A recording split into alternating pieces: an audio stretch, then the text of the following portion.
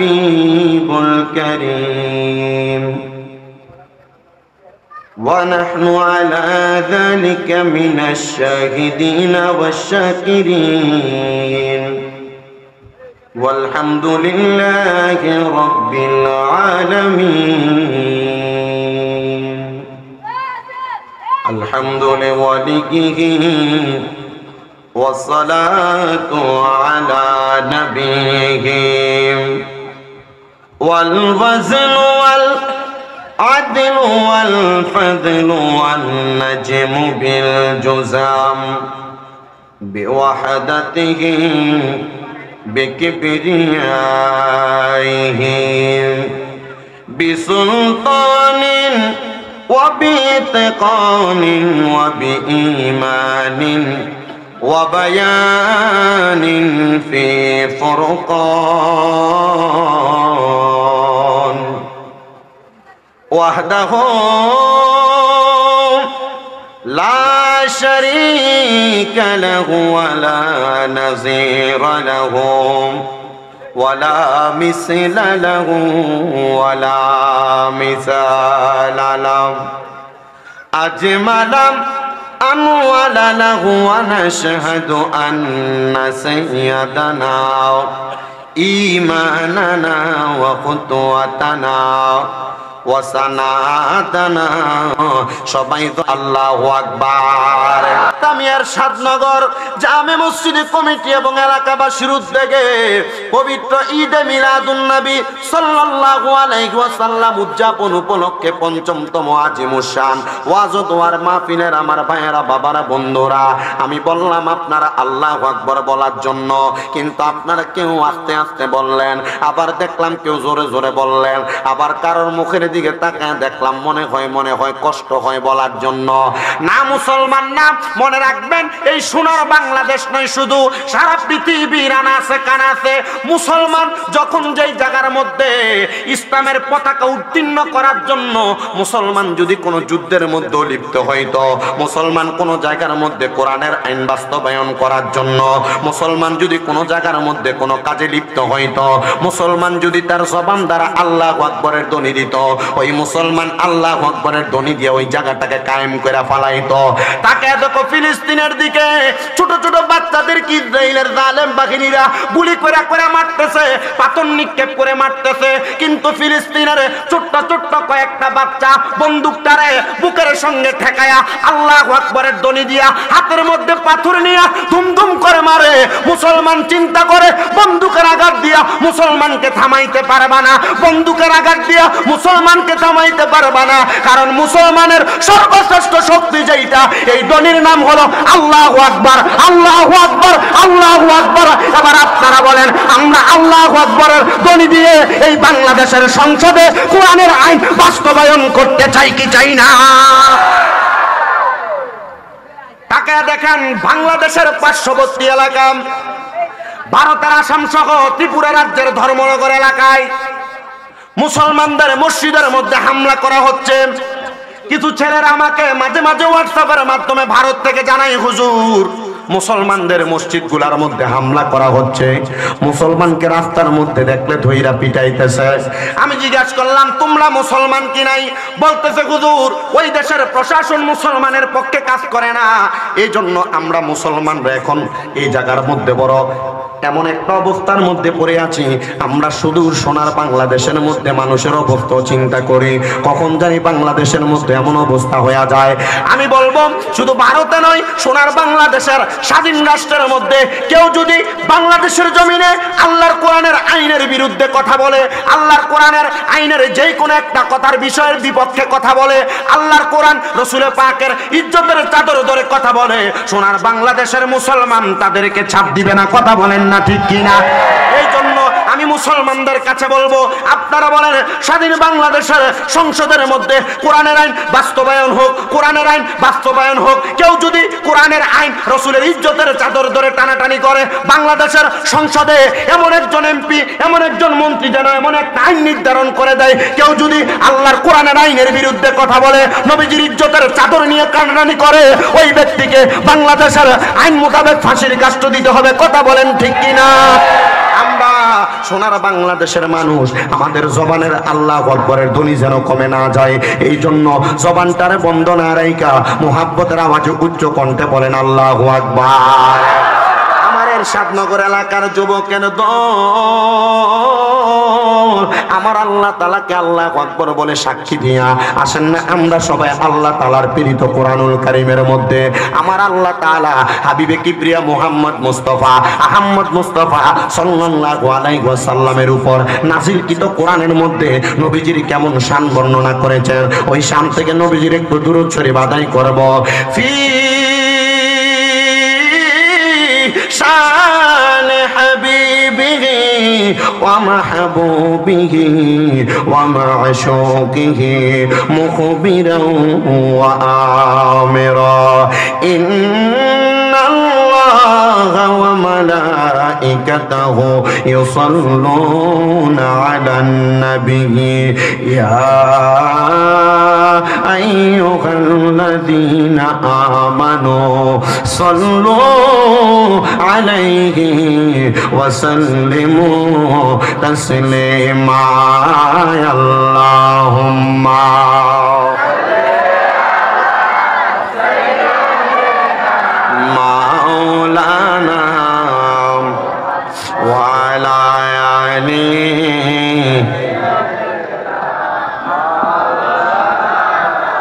আর একটু জবান খুলে মোহাব্বতের আওয়াজে পড়েন আল্লাহ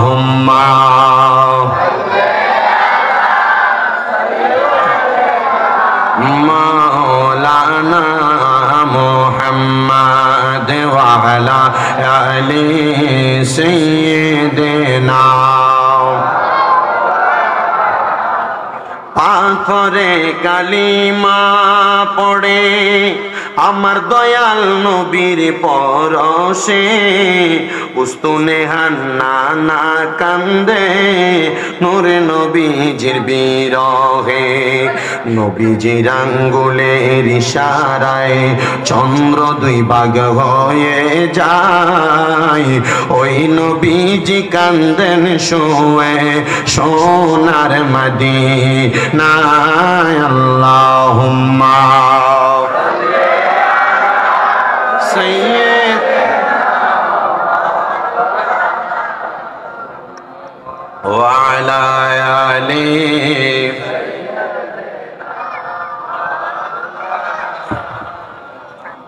ইয়ার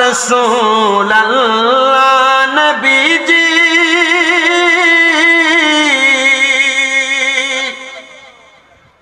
গাছের ডালে পাখি যদি হইতা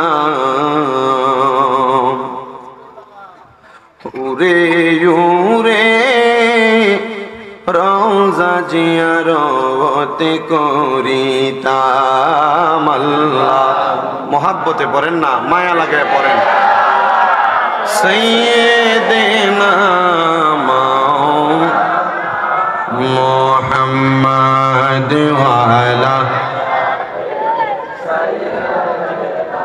মাও আশিক রে আল্লাহ কই জিবিরাইল শোনো না। পাগল রে। আল্লাহ কই জিবিরাইল শোনো না। আসমান সাজাও, জমিন সাজাও, আসমান সাজাও, জমিন সাজাও সাজাও বেহেস্ত খানা ইমানদার গন জলস কর, না পরে নিদে মিলাদন। নবীর মাহফিলি দে মিলাদন। নবীর মাহফিল প্রথম করেছেন রাবানা ইমানদারগণ জলসে করোনা। সুবহানাল্লাহ বলেন না। মাহফিল প্রথম করেছেন একজন তিনি কে? মোহাব্বতে বলেন, তিনি কে? আল্লাহ যখন দুনিয়ার কোনো কিছু বানান নাই, আলমে আরোহার জগতের মধ্যে, আমার আল্লাহ তাআলা শুধু রুহুগুলাকে সামনে নিয়ে আমার আল্লাহ প্রশ্ন করেছেন, আলাস্তু বিরব্বিকুম, আমি কি তোমাদের প্রভু নই? তখন কোন রুহু কথা বলে না। ওই সময় আমার রসুল সাল্লাল্লাহু আলাইহি ওয়াসাল্লামের রুহু মুবারক দাঁড়ায়া আমার আল্লাহ তাআলার কাছে উত্তর দেয়, কলু বালা হ্যাঁ আল্লাহ, আপনি আমাদের প্রভু আমার আল্লাহ তাআলা কয়, বন্ধু, আমার হাবিব আমার, আপনার রুহু মুবারক যেহেতু দুনিয়ার জমিনের মধ্যে, আসার আগে আলমে আরোহার মধ্যে, আমি আল্লাহকে প্রভু বলে সাক্ষী দিয়েছে আপনি হাবিব, দুনিয়ার জমিনের মধ্যে যাবেন, বারে রবিউল আউয়াল, সোমবার সুবে সাদিকে, হযরতে আব্দুল্লাহর ভাঙ্গা কুটিরের মধ্যে, মা আমেনার রেগেমের মধ্যে, আপনি হবেন রাহমাতুল লিল আলামিন নবীজি। এবার আপনারা বলেন, ওই নবীর আগমনে আমরা সবাই খুশি না বেজার? এই জন্য সবাই বলেন ঈদে মিলাদুন, নবীর মাহফিল, ঈদে মিলাদুন, নবীর মাহফিল প্রথম করেছেন রাব্বানা ইমানদারগণ, জলস করোনা আশকে রে সুরা আল ইমরানে আল্লাহ করেছেন ঘোষণা মিলাদুন নবী পালন করেতে মিলাদুন নবী পালন করেতে অঙ্গীকার করলেন রাবানা ইমামদারগণ, জলস কর না আল্লাহুম্মা মোহাব্বতে জোরে সরে পড়েন। মোহাম্মদ ওয়ালা আলি সাইয়্যিদিনা। লা ইলাহা লাহ লা ইলাহা ও লা ইলাহা ইল্লাল্লাহ মাশাআল্লাহ সুন্দর। ইল্লাল্লাহ ও লা ইলাহা ইল্লাল্লাহ লা ইলাহা লাল্লাহ লা ইলাহা حسبي ربي جل الله ما في قلبي غير الله পড়েন حسبي ربي جل الله ما في قلبي غير الله নরে মোহাম্মদ। পরে নরে মোহাম্মদ। পিছনে টাকা বিষয় দাও। لا إله إلا الله لا إله الله لا إله হাইরে আমরার মনের বেদনা আমরা কেমনে যাব মাদিনা এর সাতনগরের মানুষ মদিনা যাইতে চাই কি চাই না বাবারা মদিনা যাইতে চাই কি চাই না? কারা কারা যাই দুই হাত তুলে আমার আল্লাহকে দেখা, জবান খুলে একটা তাকবির হবে না রে তাকবীর? এই আওয়াজ দিয়ে মদিনা যাবেন, একটু মোহাম্মতে আওয়াজ দেওয়া লাগবে। এক মাস শেষ হয় নাই, আমি মদিনা থেকে আসছি। মদিনার নবী রওজা মুবারকের সামনে দাঁড়ায়া শুধু রসুলে পাকের কাছে বলছি, ইয়া রসুলাল্লাহ, আমি আপনার রওজা মুবারকের সামনে আনছেন। নবীজি, আপনার অনেক পাগল বাংলাদেশে বসে আছে। নবীজি, আপনি তাদেরকে আপনার কাছে ডাক দেন। নবী, তাদের টাকা নাই, পয়সা নাই। যদি তাদের টাকা পয়সা দিয়ে মদিনায় না আসতে পারে আপনি তাদেরকে ঘুমের ঘরে দেখা দেন। বলেন আমরা হয় মদিনায় যাইতে নচেত নবীজির দিদার চাই কি চাই না। বলেন, চাই কি চাই না? অনেক কিপটা লোক আছে, টাকার মালিক, পয়সার মালিক, বাড়ির মালিক, গাড়ির মালিক, কিন্তু মদিনায় যায় না। চিন্তা করে, মক্কায় গেলে, মদিনায় গেলে হারাম খাওয়া যাবে না, পরের হক মাইরা খাওয়া যাবে না। এবার বলেন, এই হারামকুর সুৎকুর ঘুসকুর সবগুলারে বাদ দিয়া আমরা ঘুমের ঘরে স্বপনে একবার নবীর দিদার চাই কি চাই না? কারা কারা চাই? ডান হাত তুলে আমার আল্লাহকে দেখায়। জবান খুলে একটা তাকবির হবে, বাবা তকির জোরে করে। বলেন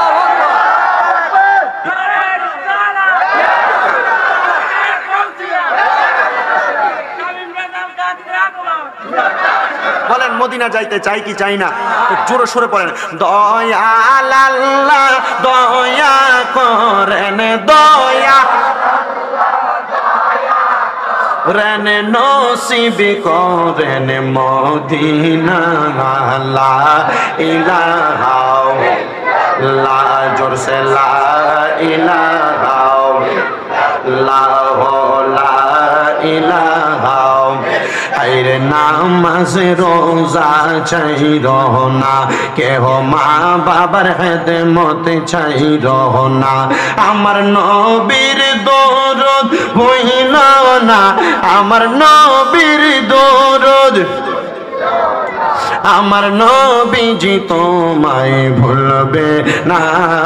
লা ইলাহা লাল্লাহ লা ইলাহা লা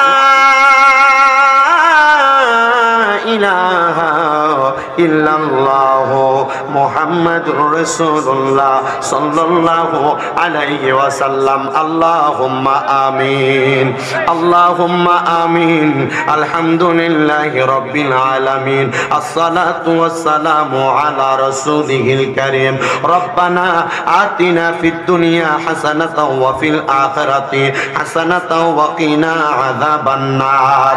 ওয়া কিনা আযাবাল সাকরাতুল মাউত। ওয়া কিনা আযাবাল কবর। ওয়া কিনা হাশর ওয়া কিনা আযাবাল ফুসরাত ওয়া কিনা আযাবাল ইয়াউমাল কিয়ামা মাবুদু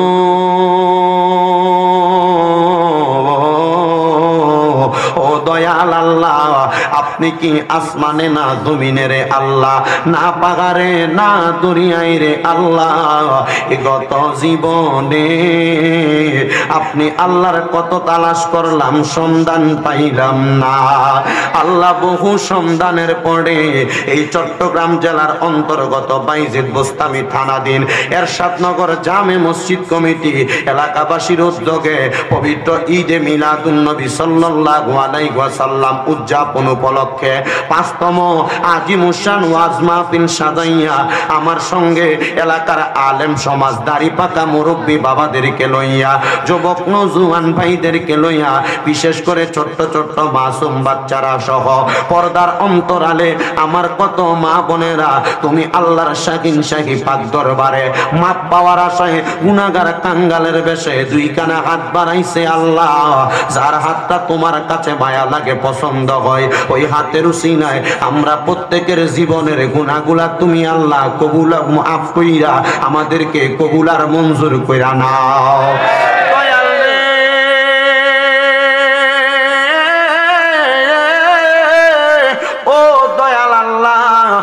আমরার জীবনের গুনার দিকে তাকাইলে আমরার কাছে বড় ভয় ভয় লাগে রে আল্লাহ।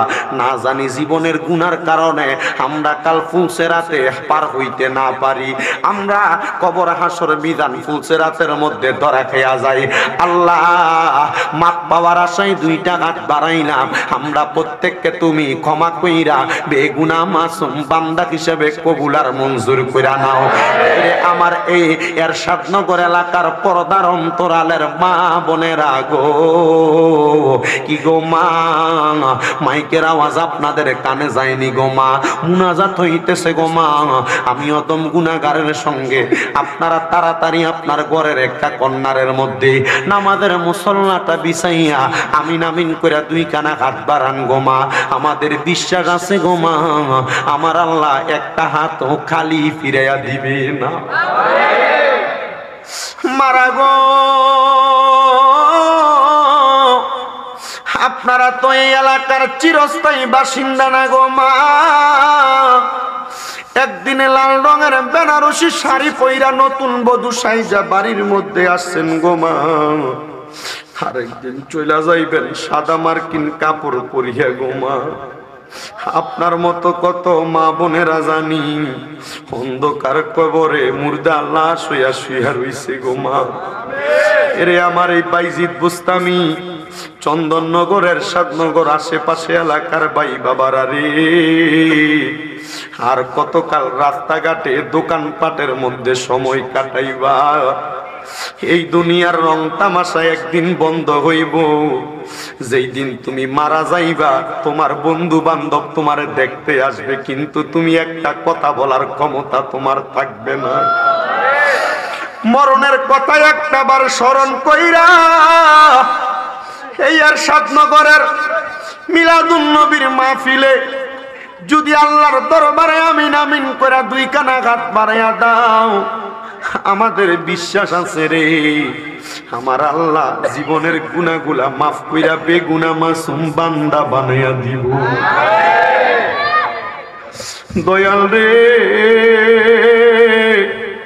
জীবনের গুনার দিকে তাকাইলে জাহান নামের আগুন ছাড়া কিছুই দেখা যায় না রে আল্লাহ। মনিব আমরার জীবনের গুনাগুলা মাফ কইরা আমাদেরকে তোমার সাতটা পাক্কা বান্দা হিসেবে কবল মঞ্জুর কইরা না আল্লাহ মায়ার নজর করে তাকে দেখেন। আজকের মুনাজাতের মধ্যে তিনটা শ্রেণির মানুষ হাত বাড়াইয়া দিছে। একটা শ্রেণির মানুষ আছে যাদের জগতের মধ্যে আব্বা নাই। যেই বাবা রিক্সা চালাইয়া মাটি কাইটা মাথার গাম পায়ে ফালাইয়া, পরের বাড়িতে বদলার কাজ কইরা সন্তানরে মানুষের মতো মানুষ করার জন্য আব্বাদান নিজের রক্তরে পানি বানাইছে। আল্লাহ কে জানি এমন আব্বাদান রে? অন্ধকার কবরে শোয়াইয়া আজকের মুনাজাতের মধ্যে এতিমের বেশে গাছ বাড়াইছে রে দয়াল। ওরে ভালোবাসি তোমায় বাবা, বুকটা যে যাইছি রে তোমার কথা হৃদয় মাঝে পড়ছে বারে বারে। বাবা গো, বাবা বাবা গো, বাবা।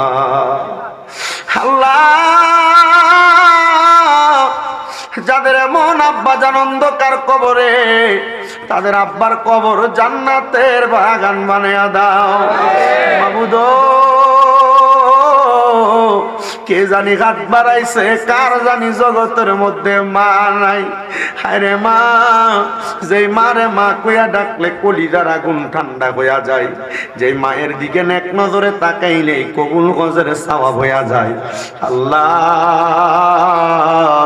যেই মা দশ মাস দশ দিন গর্ভে ধারণ কইরা সন্তানের প্রসব বেদনা সহ্য করতে মার বড় কষ্ট হইছে।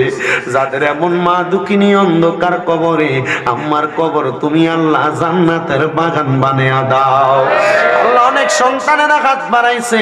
যাদের মাও নাই, বাবাও নাই, জনমের তিন গো আল্লাহ। যাদের মা বাবা দুইজন অন্ধকার কবরে, আম্মা আব্বার কবরটাকে নাজাতের ফয়সালা করো। আল্লাহ বিশেষ করে ফরিয়াদ তোমার দরবারে। মনিব গো, অনেক সন্তান আছে, মাও নাই, বাবাও নাই, একবারে এতিম। বাড়িতে যাওয়ার পর সবার মুখটা দেখবে, কিন্তু জনম দুঃখী মার মুখটা দেখবে না। আল্লাহ, আম্মায় আব্বার কবরটারে নাজাতের বাগান বানাইয়া ওই সন্তানের কলিজাটা ঠান্ডা করে দাও। আম্মা আব্বার কবরটাকে নাজাতের ফয়সালা করো। যাদের মা বাবা বেঁচে আছে, হায়াতে তুইও বা নসিব করে দাও। অনেক সন্তান হাত বাড়াইছে, আম্মা আব্বার খেদমত করে প্রত্যেককে তুমি কবল মঞ্জুর করো। আল্লাহ বিশেষ করে নানার বংশ, নানির বংশ, আত্মীয় স্বজন, দাদা দাদির বংশ যারা কবরে, প্রত্যেকের কবর না নাজাতের ফয়সালা করে দাও।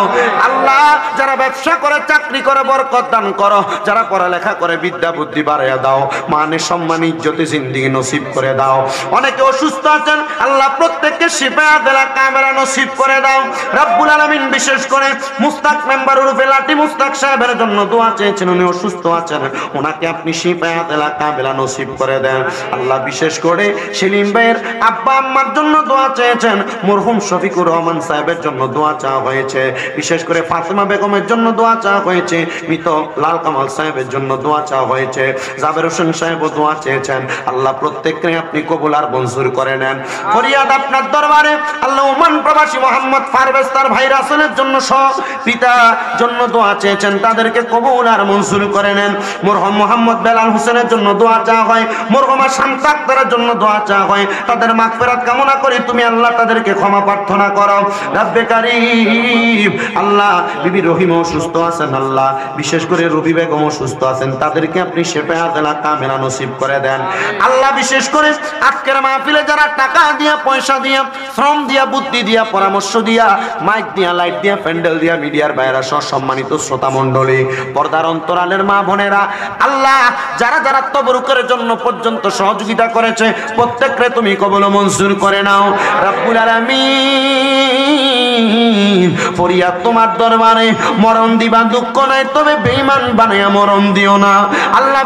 বিশেষ করে আমার একজন ভক্ত ফাতেমা বেগম দোয়া চেয়েছেন কুমিল্লার বরুড়া থেকে। আল্লাহ ওনাকে আপনি কবল মঞ্জুর করে নেন। আল্লাহ এমন ভাবে যারা যারা দোয়া চাই আমির হোসেন ভাই সুস্থ তার জন্য দোয়া চা হয়। তাদের প্রত্যেককে তুমি কবল মঞ্জুর করো।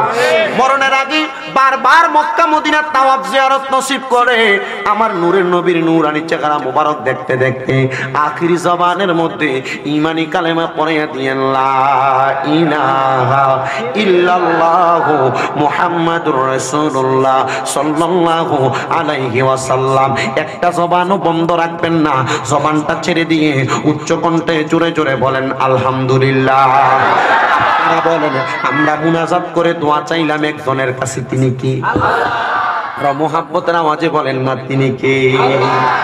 মহজ্জত সদরে মোহতারাম, দিগার দিনদার ইমানদার মুত্তাকিন মুসল্লিনে কারাম আজকে চট্টগ্রাম জেলার অন্তর্গত বাইজিদ বুস্তামি থানাধীন এরশাদনগর জামে মসজিদ কমিটি এলাকাবাসীর উদ্যোগে পবিত্র ঈদে মিলাদুন নবী সাল্লাল্লাহু আলাইহি ওয়াসাল্লাম উদযাপন উপলক্ষে পাঁচতম আজিমুসান ওয়াজ মাহফিল এই মাহফিলের সম্মানিত যিনি প্রধান অতিথি, পীরে তরিকত রহনুমাই শরীয়ত হজরতুল হাজ আল্লামা কাজী মোহাম্মদ সাদিকুর রহমান হাশিমি মদ্দাজিল্লাহুল আলী বারাকাল্লাহু ফি হায়াতি, আল্লাহ হুজুর হায়াতে বরকতুর রহমান হাশিমি মদ্দাজিল্লাহুল আলী, আল্লাহ হুজুরের হায়াত এবং ইমাম হাশিমির যত আওলাদ বংশধর আছে, আল্লাহ প্রত্যেকের হায়াতের মধ্যে বরকত দান করুন পরে না আমিন।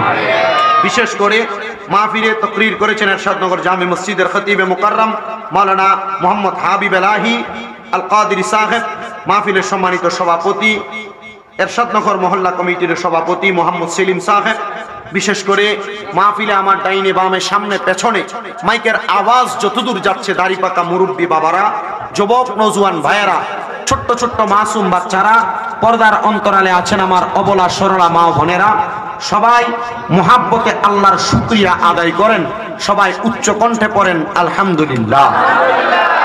আমি আপনাদের কাছে একটা কোরআনুল করিমের আস্ত সুরা তেলাওয়াত করেছি। যে সুরাটির নাম হলো সুরা তাকাসুর। যে সুরার নাম কি?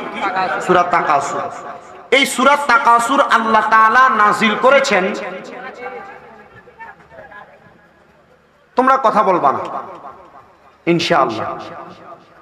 কে যদি মরেও যাও সাইটটা মরিয়া যেতে দিবা। কারণ এ মারা গেলে, এর আগামীকালকে সকালে মাটি দেওয়া যাবে। কিন্তু কালকে সকাল হইলে কি এখানে কি আর মাহফিল হবে? আচ্ছা মরবে তো না, আল্লাহ হায়াত যদি রাখে, মাহফিল শোনাই আমার আর এখানে মরলে শহীদের মর্যাদা পাবে। কেন? এলেম শিখতে শিখতে যদি কেউ মারা যায়, এটা এলেমের বাগান। কিসের বাগান? এলেমের বাগান, কোরআন সুন্নার বাগান। কোরআন সুন্নার বয়ান শুনতে শুনতে মারা গেছে, এটা তোমার তকদির ভালো। শহীদি মর্তবা পাবে আল্লাহ কবুল করেন পরে না আমি রসুল পাক সাল্লাল্লাহু আলাইহি ওয়াসাল্লামের দরবারে কোন সাহাবাই কারাম আসলে রসুল পাক ওনাদেরকে ভালো ভালো নসিহত করতেন। তা আমরা আপনাদেরকে নসিহতগুলো করছি যেন আল্লাহ তাআলা আপনাদেরকে, আমাদের সবাইকে এখানে বসে দুই একটা কথা শুনে শোনার পর আমল করার তৌফিক দেয় পরে না আমিন। আপনারা গত বছরও দেখছেন আমি আসার কারণে এখানে অনেক মানুষ হয়েছে আপনারা প্যান্ডেলটা এই বছর একটু বাড়াইয়া করতেন। আমি আগেই বলছি পেছনে আরেকটু জায়গা বিছিয়ে দেন যেন মানুষ বসতে পারে। আল্লাহ কবুল করেন আমিন পড়েন। আলহামদুলিল্লাহ যে যেখানে যেভাবে দাঁড়িয়ে ওয়াজ শুনতেছেন এভাবে ওয়াজ শুনবেন। কোনো কথা বলা যাবে না তুমি স্পিকারের লগে দাঁড়িয়ে টং টং করবা না ইনশাল্লাহ একটু ওয়াজ শোনো শুনে একটু সুবহানাল্লাহ আলহামদুলিল্লাহ আওয়াজ জোরে দিও। আপনারা বলেন এখানে যতক্ষণ কথা হবে ততক্ষণ কথার উপর যা আমি বলব ভুল বেয়াদবি আল্লাহর কাছে ক্ষমা প্রার্থনা করে, যেগুলোর উপর আমল করা যায় ইনশাল্লাহ সেগুলোর উপর আমলে বাস্তবায়ন করব ইনশাল্লাহ রাজি আছেন তো ইনশাল্লাহ আল্লাহ যেন কবুল করে, জোরে পড়েন, আমিন। মনোযোগ দিবেন। আলোচনার ধারাবাহিকতা আমি আপনাদের কাছে সরাসরি শুরু করে দিচ্ছি, বাবা তাফসিরে কামজুল ইমানের আলোকে। আল্লাহ তালার কোরআনুল আল্লাহ তাআলা আস্ত একটা সূরা নাজিল করেছেন মানুষকে কবরের কথা স্মরণ করে দেওয়ার জন্য। এই সূরা তাকাসুরের মাধ্যমে আল্লাহ তাআলা দুনিয়ার বান্দাদেরকে স্মরণ করে দেয়, বান্দা, তোমাদের সম্পদ তোমাদেরকে মৃত্যুর কথা ভুলে রাখছেন, কবরের কথা ভুলে রাখছেন, হাসুর মিজান ফুলসেরাতের কথা ভুলে রাখছেন। আল্লাহ তারা জানে দেয়, জগতের বান্দার দলেরা যদি তোমরা দুনিয়া আর জমিনের মধ্যে কবরকে বেশি বেশি স্মরণ করো, মৃত্যুকে বেশি বেশি তোমরা স্মরণ করো, তাহলে আমি আল্লাহ তাআলা তোমাদের জন্য জান্নাতের দরজা উন্মুক্ত করে দিব। মনোযোগ দিবেন? আমার এই এরশাদনগরের যুবক ভাইয়েরা, মুরব্বী বাবারা, পর্দার অন্তরালের মা বোনেরা, এই দুনিয়ার মানুষ বর্তমানে মরণ থেকে পলায়ন করার জন্য কত চেষ্টা করে। কিন্তু না না না। মানুষ মরণ থেকে পলায়ন করার এত চেষ্টা করে, মানুষ মরণ থেকে বাঁচতে পারবে না। মানুষ জানে না, মৃত্যুবরণ করার পরে ওই মানুষগুলা যখন কবরের মধ্যে যাবে, দুনিয়ার ভালো এবং খারাপ কাজের জন্য মানুষগুলাকে দুইটা প্রতিদান দেওয়া হবে। যারা ভালো কাজ করবে, আমার আল্লাহ তাআলা তাদেরকে ভালো কাজের জন্য ভালো প্রতিদান প্রদান করবেন। যারা খারাপ কাজ করবেন, আল্লাহ তাআলা তাদেরকে খারাপ কাজের জন্য খারাপ প্রতিদান দান করবেন। এই জন্য মুসলমান ইমানদারের দলেরা আমার আল্লাহ তাআলা কি ভালো প্রতিদান দিবেন? আল্লাহ তাআলা কি খারাপ প্রতিদান দিবেন? আমি আপনাদেরকে একটু উদার্তভাবে বলতে চাই। আপনারা বলেন, আমরা সবাই কবরকে স্মরণ করে। আমার বয়ানের শেষ পর্যন্ত অল্প কিছুক্ষণ সময় আপনারা আমারে দিতে রাজি আছেন তো ইনশাল্লাহ আমার জায়গা হবে নি।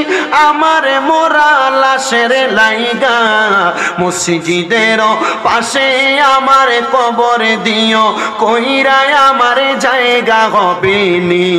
আমরা আমাদের কবরটা মসজিদের পাশে হোক, অথবা আল্লাহ তালা এই কবরের মাধ্যমে আমাদেরকে জান্নাত পর্যন্ত পোশাক আমরা চাই কিনা? আচ্ছা মনে করেন আমি খাইলাম সুদ, আমি খাইলাম পরের হক, আমি মানুষের জমি দখল করলাম, মানুষের প্রতি অত্যাচার করলাম, মসজিদের পাশে না জান্নাতুল বাকিতে নিয়েও যদি কবর দেয়, আপনারা বলেন তো বাসার মতো কোনো রাস্তা আছে? বলেন, রাস্তা আছে। তাহলে মসজিদের পাশে কবর হইলেও যদি এলাকায় জুলুম অত্যাচার করে, এটার ঠিকানা কি জান্নাত জাহান্নাম? তাহলে মসজিদের পাশে জায়গা হইলেও জাহান্নাম, না হইলেও জাহান্নাম। বলে কীভাবে? যদি অত্যাচার, অনাচার, হারাম কাজের সাথে লিপ্ত থাকেন। আর যদি পাঁচ ওয়াক্ত নামাজ হালাল খায়া দুনিয়া থেকে মরতে পারেন, তাহলে মসজিদের পাশে না, যদি গাঙ্গের পারেও কবর দেয়, ওই ব্যক্তি জান্নাতি। কথা বলেন ঠিক কিনা? তাহলে আমরা সবাই ওই কবরটাকে সুন্দর করার জন্য আমার নিজের লেখা একটু মহাব্বতে পড়বেন। আমি বলছি, লড়াচড়া করা যাবে না, আপনার লড়াচড়া করতেছেন। আমি বলছি, এখানে আমি কি বলছি আপনাদেরকে? বলেন। এত সুন্দর একটা মাহফিল। আমি যদি দুইটা কথা বাহিরে বলি, এখানে ইউটিউবার ভাইয়েরা আছে, এরা কি করে? এই বলার জায়গাটাই কাইটটা সারে। কাইটটা সারলে কি হয়? ওই দেখো ওয়াশ করে না উল্টা পাল্টা কথাই বলে। আমি কবরের ওয়াশ করতেছি। এই কবরের ওয়াজগুলো আপনারা মনোযোগ দিয়ে শুনবেন, আল্লাহ তাআলা এই কবরের স্মরণের মাধ্যমে আমাদের জীবন পরিবর্তন করবেন। ঠিক না? ইনশাল্লাহ ততটুক শুনবেন ওঠা বসা করা যাবে না, আমার সামনে দিয়ে হাঁটা চলা করা যাবে না। যে যেখানে যেভাবে আসেন এভাবে মাহফিল সাজাবেন। এত লাখ টাকা খরচ করে মাহফিল করলেন, যদি একটু চিহ্ন বেমেসাল হয়ে যায় উল্টা পাল্টা হয়ে যায়, তাহলে মানুষ বাজে মন্তব্য করবে। আর আপনারা যারা আসেন তবরুক সারা যাবেন না ইনশাল্লাহ তবরুক আছে না? বেশি মজার তবরুক, আমি খাইছি তো। আল্লাহ যেন সবাইকে কবুল করে, আমিন করে। একটু মোহাব্বতে আমার সাথে পড়েন, আমার জায়গা হবে নি, আমার মোরা লাশের লাইগা। মসজিদের পাশে আমার কবর দিও, কইরায় আমার জায়গা হবে নি, আমার জায়গা হবে নি, আমার মোরা লাশের লাইগা। মসজিদের পাশে আমার কবর দিও, কইরায় আমার জায়গা হবে নি। এলাকাবাসী রে। আমি তোমরার ছেলে, সন্তান, কয়দিনের লাগিয়া, মরার পরে সবাই আমায় যাবে রে ভুলিয়া। এলাকাবাসী রে, আমি তোমরার ছেলে, সন্তান, কয়দিনের লাগিয়া, মরার পরে সবাই আমায় যাবে রে বলিয়া কষ্ট হইল সাড়ে তিন হাত মাটি দিও খুইরাই আমার জায়গা হবে নি, আমার জায়গা হবে আমার মোরা লাশের লাইগা, মসজিদের পাশে, আমার মসজিদের পাশে, আমার কবর দিও কইরাই আমার। জগৎবাসী রে, আমি যেদিন যাব মারা দুনিয়া ছাড়িয়া, রঙিন জামা কাপড় সবই নিবে রে খুলিয়া। জগতে বাসি রে, আমি যেদিন যাব মারা দুনিয়া ছাড়িয়া, রঙিন জামা কাপড় সবই নিবে রে খুলিয়া। সাদা আমার কিনে কাপড় আমায় সাদা মাই সাদা আমার কিনে কাপড় আমায় দিও রে পরায় আমার জায়গা হবে নি, আমার জায়গা হবে নি, আমার মোরা লাশের লাইগা। মসজিদের পাশে, আমার মসজিদের পাশে, আমার কবর দিও, কইরাই আমার জায়গা হবে নি। জগতে বাসি রে, আমি যেদিন যাব চইলা তোমাদের ছাড়িয়া সবাই কিন্তু যাবে তোমরা আমারে বলিয়া জগতে বাসি রে।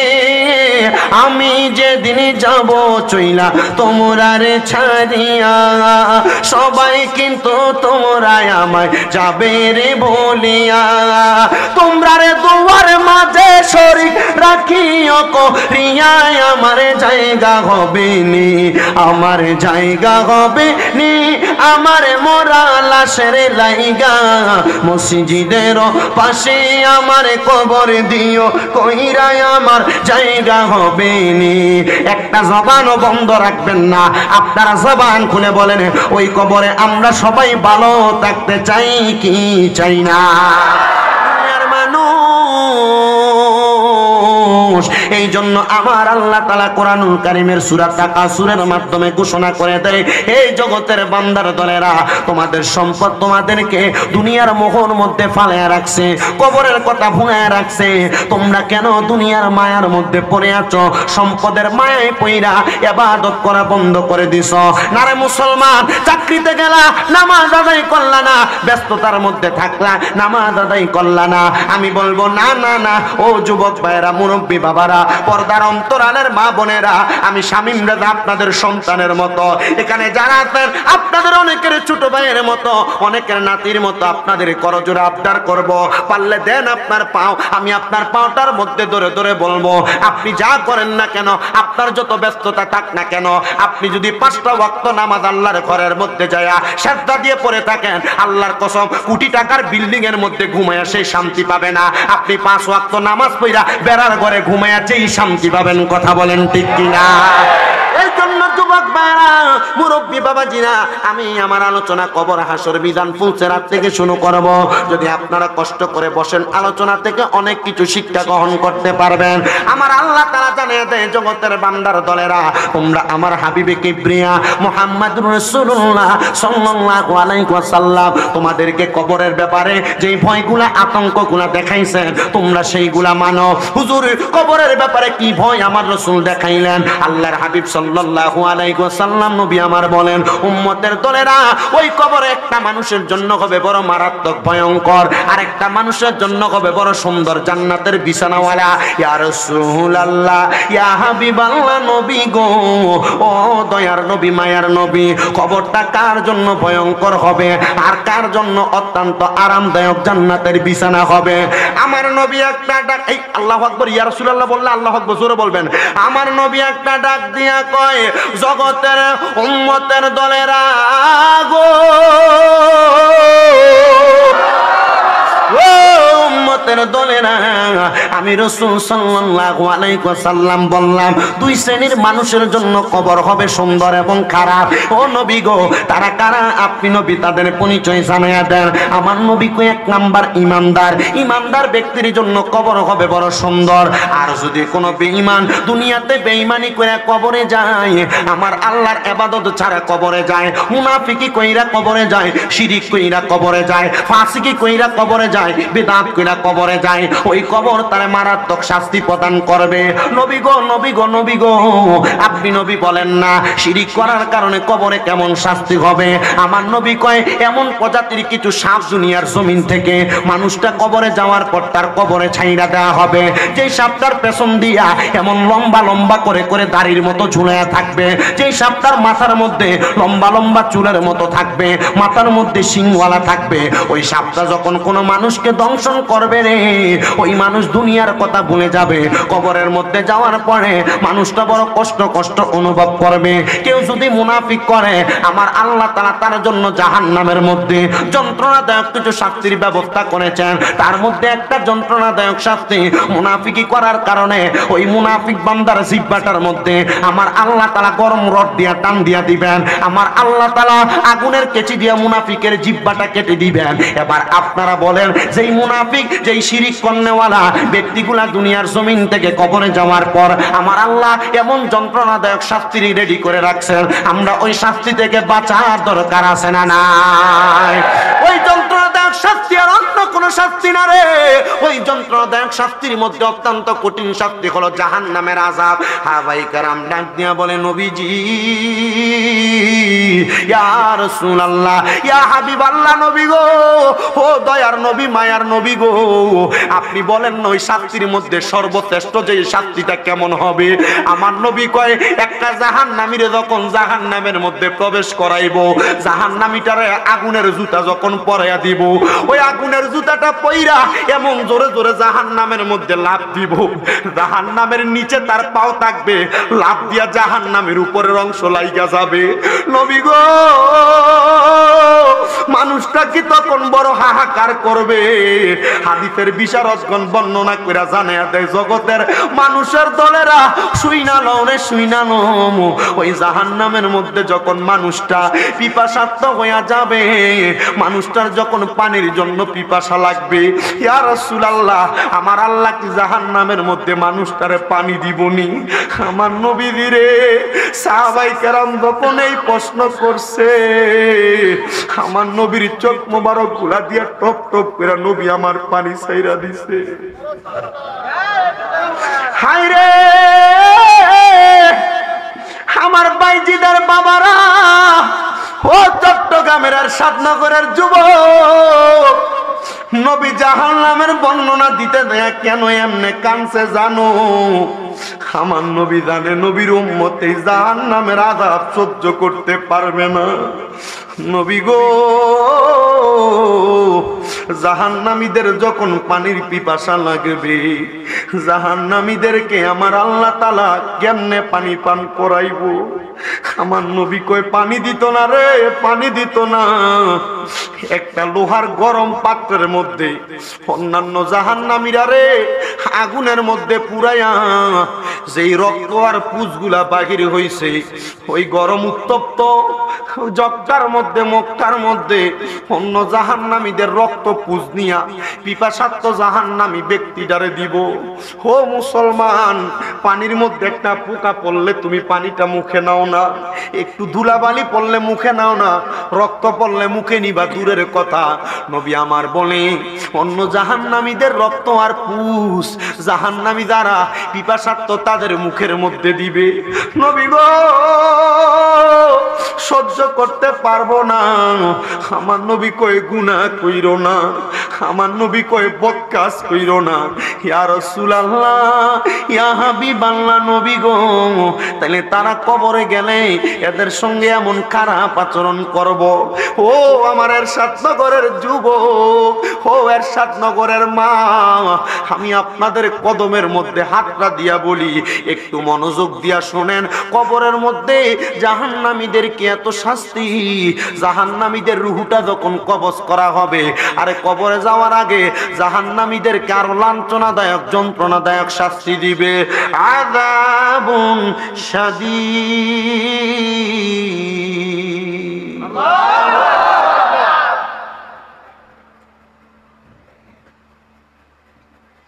সাহাবাই কারাম বলে আর ইয়া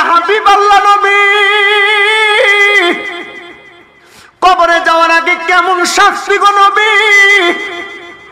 আমার নবী ডাক দিয়ে বলেন, বেঈমান বান্দা, গুনাহগার বান্দা হারাম খোর বান্দা, বক্কার বান্দা সগল খোর বান্দা, মিথ্যা কথা বলনে ওয়ালা বান্দা, দুনিয়ার জমিনে যত বদকাত করনে ওয়ালা বান্দা, তাদের রুহুগুলা যখন আদ্রাইল বুকটার মধ্যে এমন ভাবে থাবা দিয়া ধরবো রে তখন বান্দার রুহুটা শরীর থেকে বের হবে কেমনে জানো?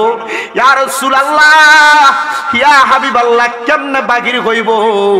নবী আমার উদাহরণ দেয়, জীবিত একটা বকরিকে লটকায়া শরীরের চামড়াগুলা জীবিত অবস্থায় টাইনা টাইনা ছিঁড়া ফেললে একটা বকরির যত কষ্ট হইব। একটা মানুষের যদি দুনিয়াতে বেঈমান হয়, দুনিয়াতে গুনাহগার হয়, পরের হক মাই আবার ভাঙ্গা বইলা দিতেছি। অসুবিধা হইতেছে আপনাদের? ওয়াজ কাজে লাগবে। আপনাদের এলাকায় আছে না? আরামখোর আছে না? বক্কার আছে না? মানুষের জমি দখল করে আছে না? মানুষের প্রতি অত্যাচার অনাচার করে আছে না? মানুষের উপর জুলুম করে খায় আছে না নাই? আমরা এতটুক কথা বাস্তবায়ন করে বাংলাদেশের চট্টগ্রামের বাইশিক থানাধীন এর সপ্তগর থেকে ওই সুদখোর হারামখোর মানুষের উপর তিনা ব্যবিচার করনেওয়ালা, অত্যাচার করনেওয়ালা ফ্যাসিস্টদেরকে বলতে চাই, মানুষের প্রতি অত্যাচার, অনাচার করে দুনিয়ার আইন থেকে বাঁচতে পারবা, আল্লাহর আইন থেকে বাঁচতে পারবা না। কষ্ট হইতেছে আপনাদের? আর বর্তমান বাংলার সমাজে সুৎখুরের ধরে নিয়ে মসজিদে সভাপতি বানায়। এলাকার মাথাব্বরি করার জন্য জুলুম বাজরে নিয়ে বসায়।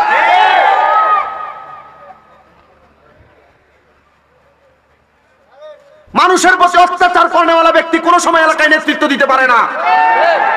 মানুষের প্রতি জুলুম করেওয়ালা ব্যক্তি কোনো সময় একজন মানুষের উপর সর্দারি খবরদারি করতে পারে না। আমার এলাকার পাশে আরেকটা কথা বইলা দেই। আগে সরকার পতন হওয়ার পর যারা যারা মনে করেন এই সরকারি দলীয় অনেক লোক মসজিদ কমিটি, মাদ্রাসা কমিটি ছিল না, এখন এরা পলাতক। আছে না? ভাই, আমি আওয়ামী লীগের বিপক্ষে বলি না, বিএনপির পক্ষে বলি না, কারোর পক্ষে বলি না। আমার কথা কোরআন, সুন্নাহ মোতাবেক হইলে আপনি মানবেন, না হইলে মানবেন না। দেখেন, এরা জোর করে তখন মসজিদ কমিটি, মাদ্রাসা কমিটি, এই কমিটি, সেই কমিটি ঢুকে নাই।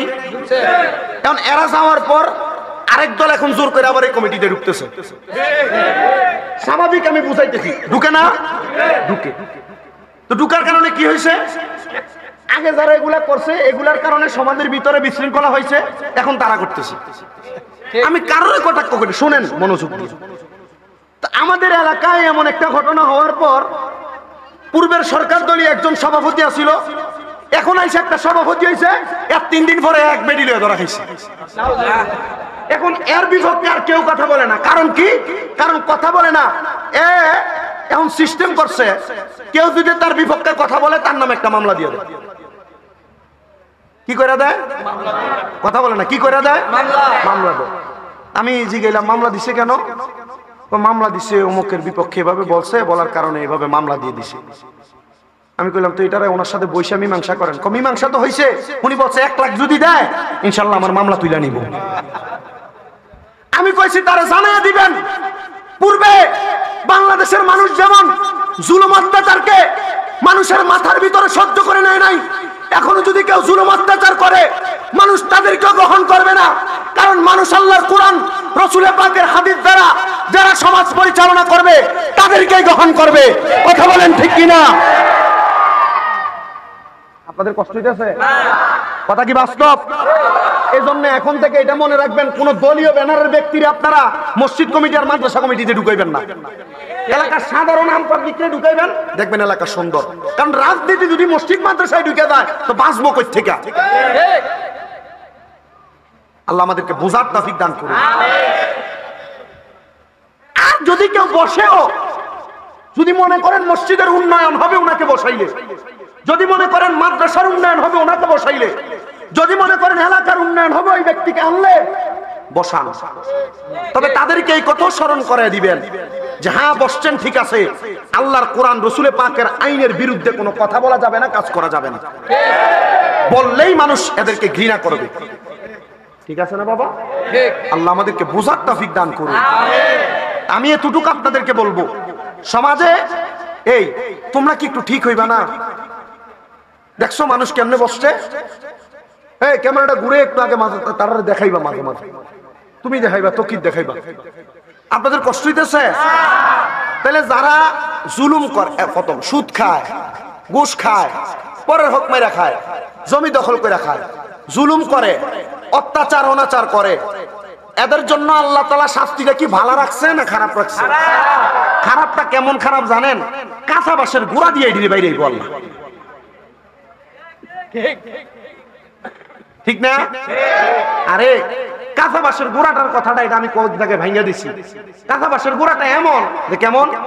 যে মনে করেন যে শুকনা বাস দিয়ে যদি বাড়ি দেয়, আমরা হাঁটিতে একটু শক্ত বাস মরকিল্লা হওয়ার কারণে বাস ভাঙ্গা দেবো আর কাঁচা বাঁশের দেখবেন গোড়াটা, এটার গিরাটা একটু কাছে কাছে থাকে। এটা দিয়ে বাড়ি দিলে আর বাস ভাঙবো না আড্ডি ভাঙবো। কথা বলেন না কেন? কথা বলেন না কেন? এজন্য বাড়িটা কি নর্মাল বাস দিয়ে হবে না কাঁচা বাস দিয়ে? আগার অংশ না গোড়ার অংশ? সাপোজটা ছড়ে দিব কবরে গেলে। মসজিদ মাদ্রাসার টাকা পয়সা পর্যন্ত ওয়াজ মাহফিলের টাকা পয়সা নষ্ট করে ফেলতে ফিরিদের কাছে। আল্লাহ এগুলা থেকে আমাদেরকে হেফাজত করুন। আমি চিন্তা করি মাঝে মাঝে এরা যে এগুলা খায় ওই যে জাহান নামের রক্ত আর ফুটগুলা খাওয়াইবো এটিরে খাওয়াইবো। কথা বলেন ঠিক কিনা? আল্লাহ বোঝার তৌফিক দান করুন বলেন আমিন। আল্লাহুম্মা সাল্লি মাদনাবি পানি পানি পানি মুরব্বী উপরে محمد اللهم صل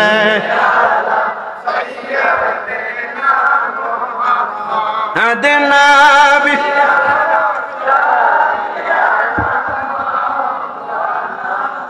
আমরা সবাই হাজির হইলাম কোরআন, সুন্নার মাহফিলে। হায়রে দয়াল আল্লাহ, কবুল করেন মায়ার নবীর খাতিরে আল্লাহ।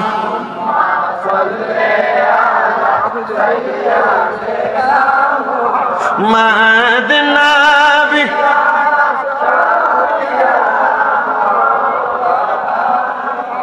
বন্ধুরা রে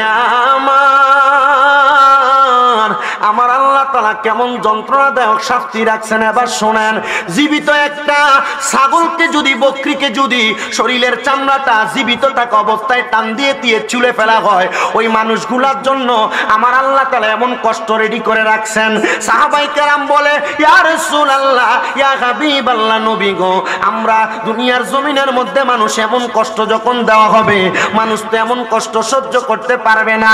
আমার নবী শিখে দেয়, চারটা কাজ তোমরা ছেড়ে দাও। ইয়া রাসূল আল্লাহ কোন চারটা কাজ। আমার নবীকে এক নাম্বার শিরিক করা, দুই নাম্বার মুনাফিকি করা, তিন নাম্বার জমি দখল করা, পরের হক মাইরা খাওয়া, চার নাম্বার দুনিয়ার জমিনের মধ্যে আল্লাহর কোরআনের আইন অথবা ইবাদতের বিরোধিতা করা।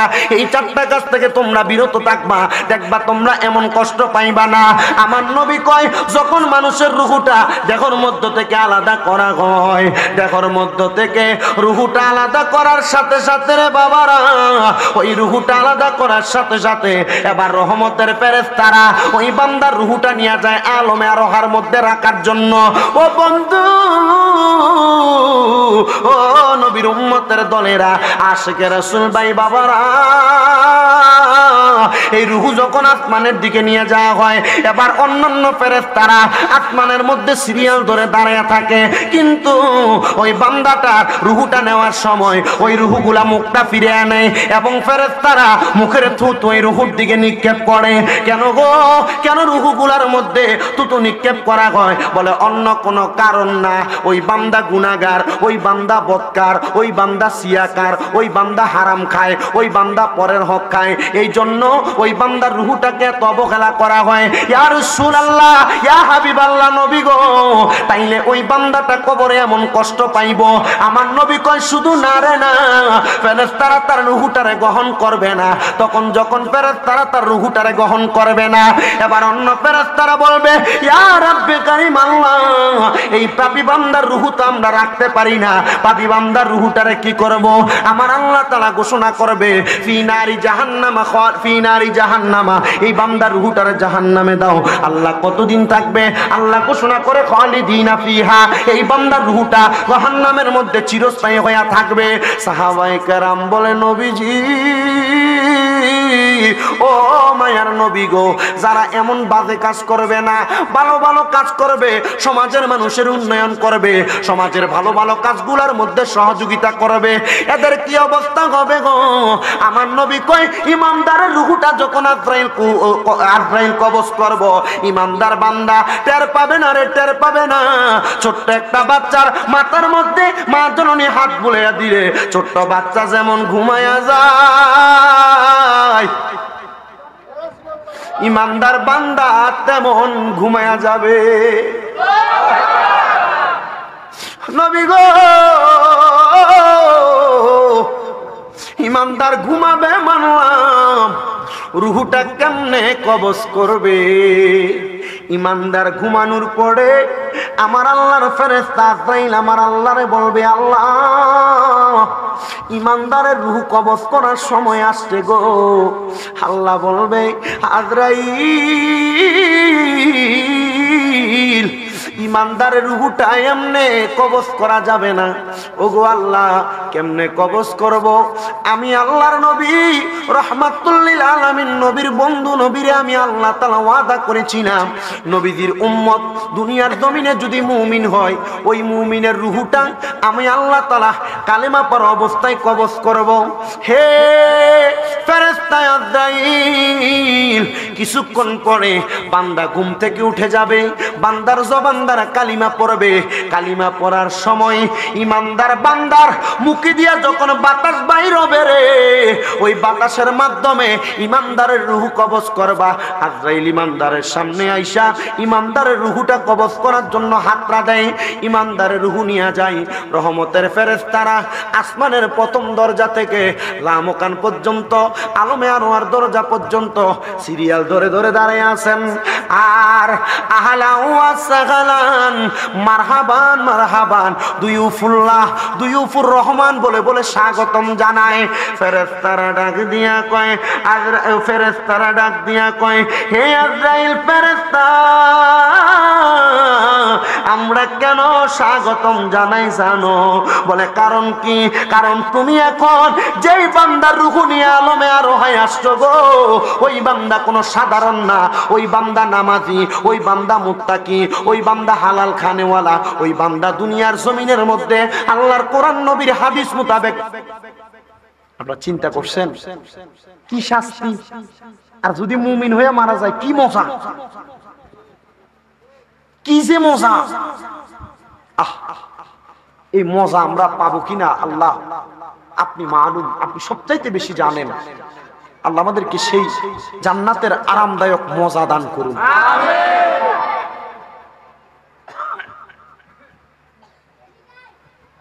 এই জান্নাতের সৌন্দর্য কি জানেন? একটা স্বর্ণের ইট, একটা রূপার একটা স্বর্ণের ইট, একটা রূপার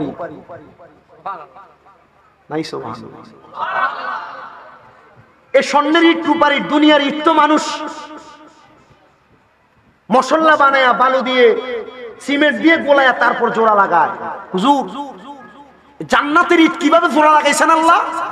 নবীজি হাদিস শরীফে, তিরমিজি শরীফের হাদিসে বলছেন, জান্নাতের ইট আল্লাহ জোড়া লাগাইছেন, লাল গুড়া গুড়া ইয়াকুত পাথর দিয়া, আল্লাহ তাআলা জামারুত পাথর দিয়ে আল্লাহ তাআলা এই জান্নাতের সুন্দর ওয়ালগুলা তৈরি করছে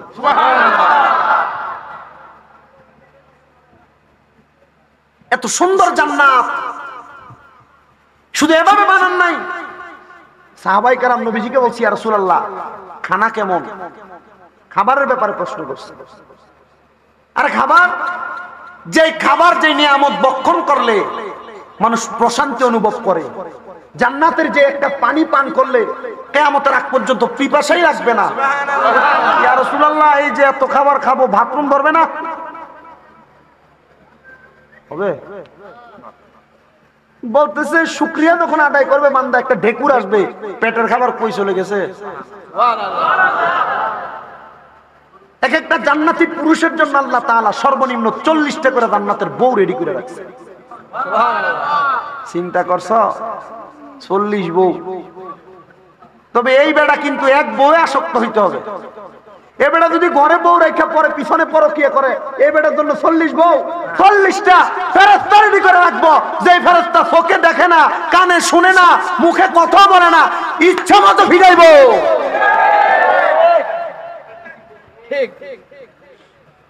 আমি মহিলাদের পর্দার বিষয়ে ওয়াজ করি। মা বোনরা যেন স্বামীর সঙ্গে সুন্দর আচরণ করে, এটার ওয়াজ করি। তা আমি তো কমেন্টস গুলাতে ঢুকার সুযোগ পাই না।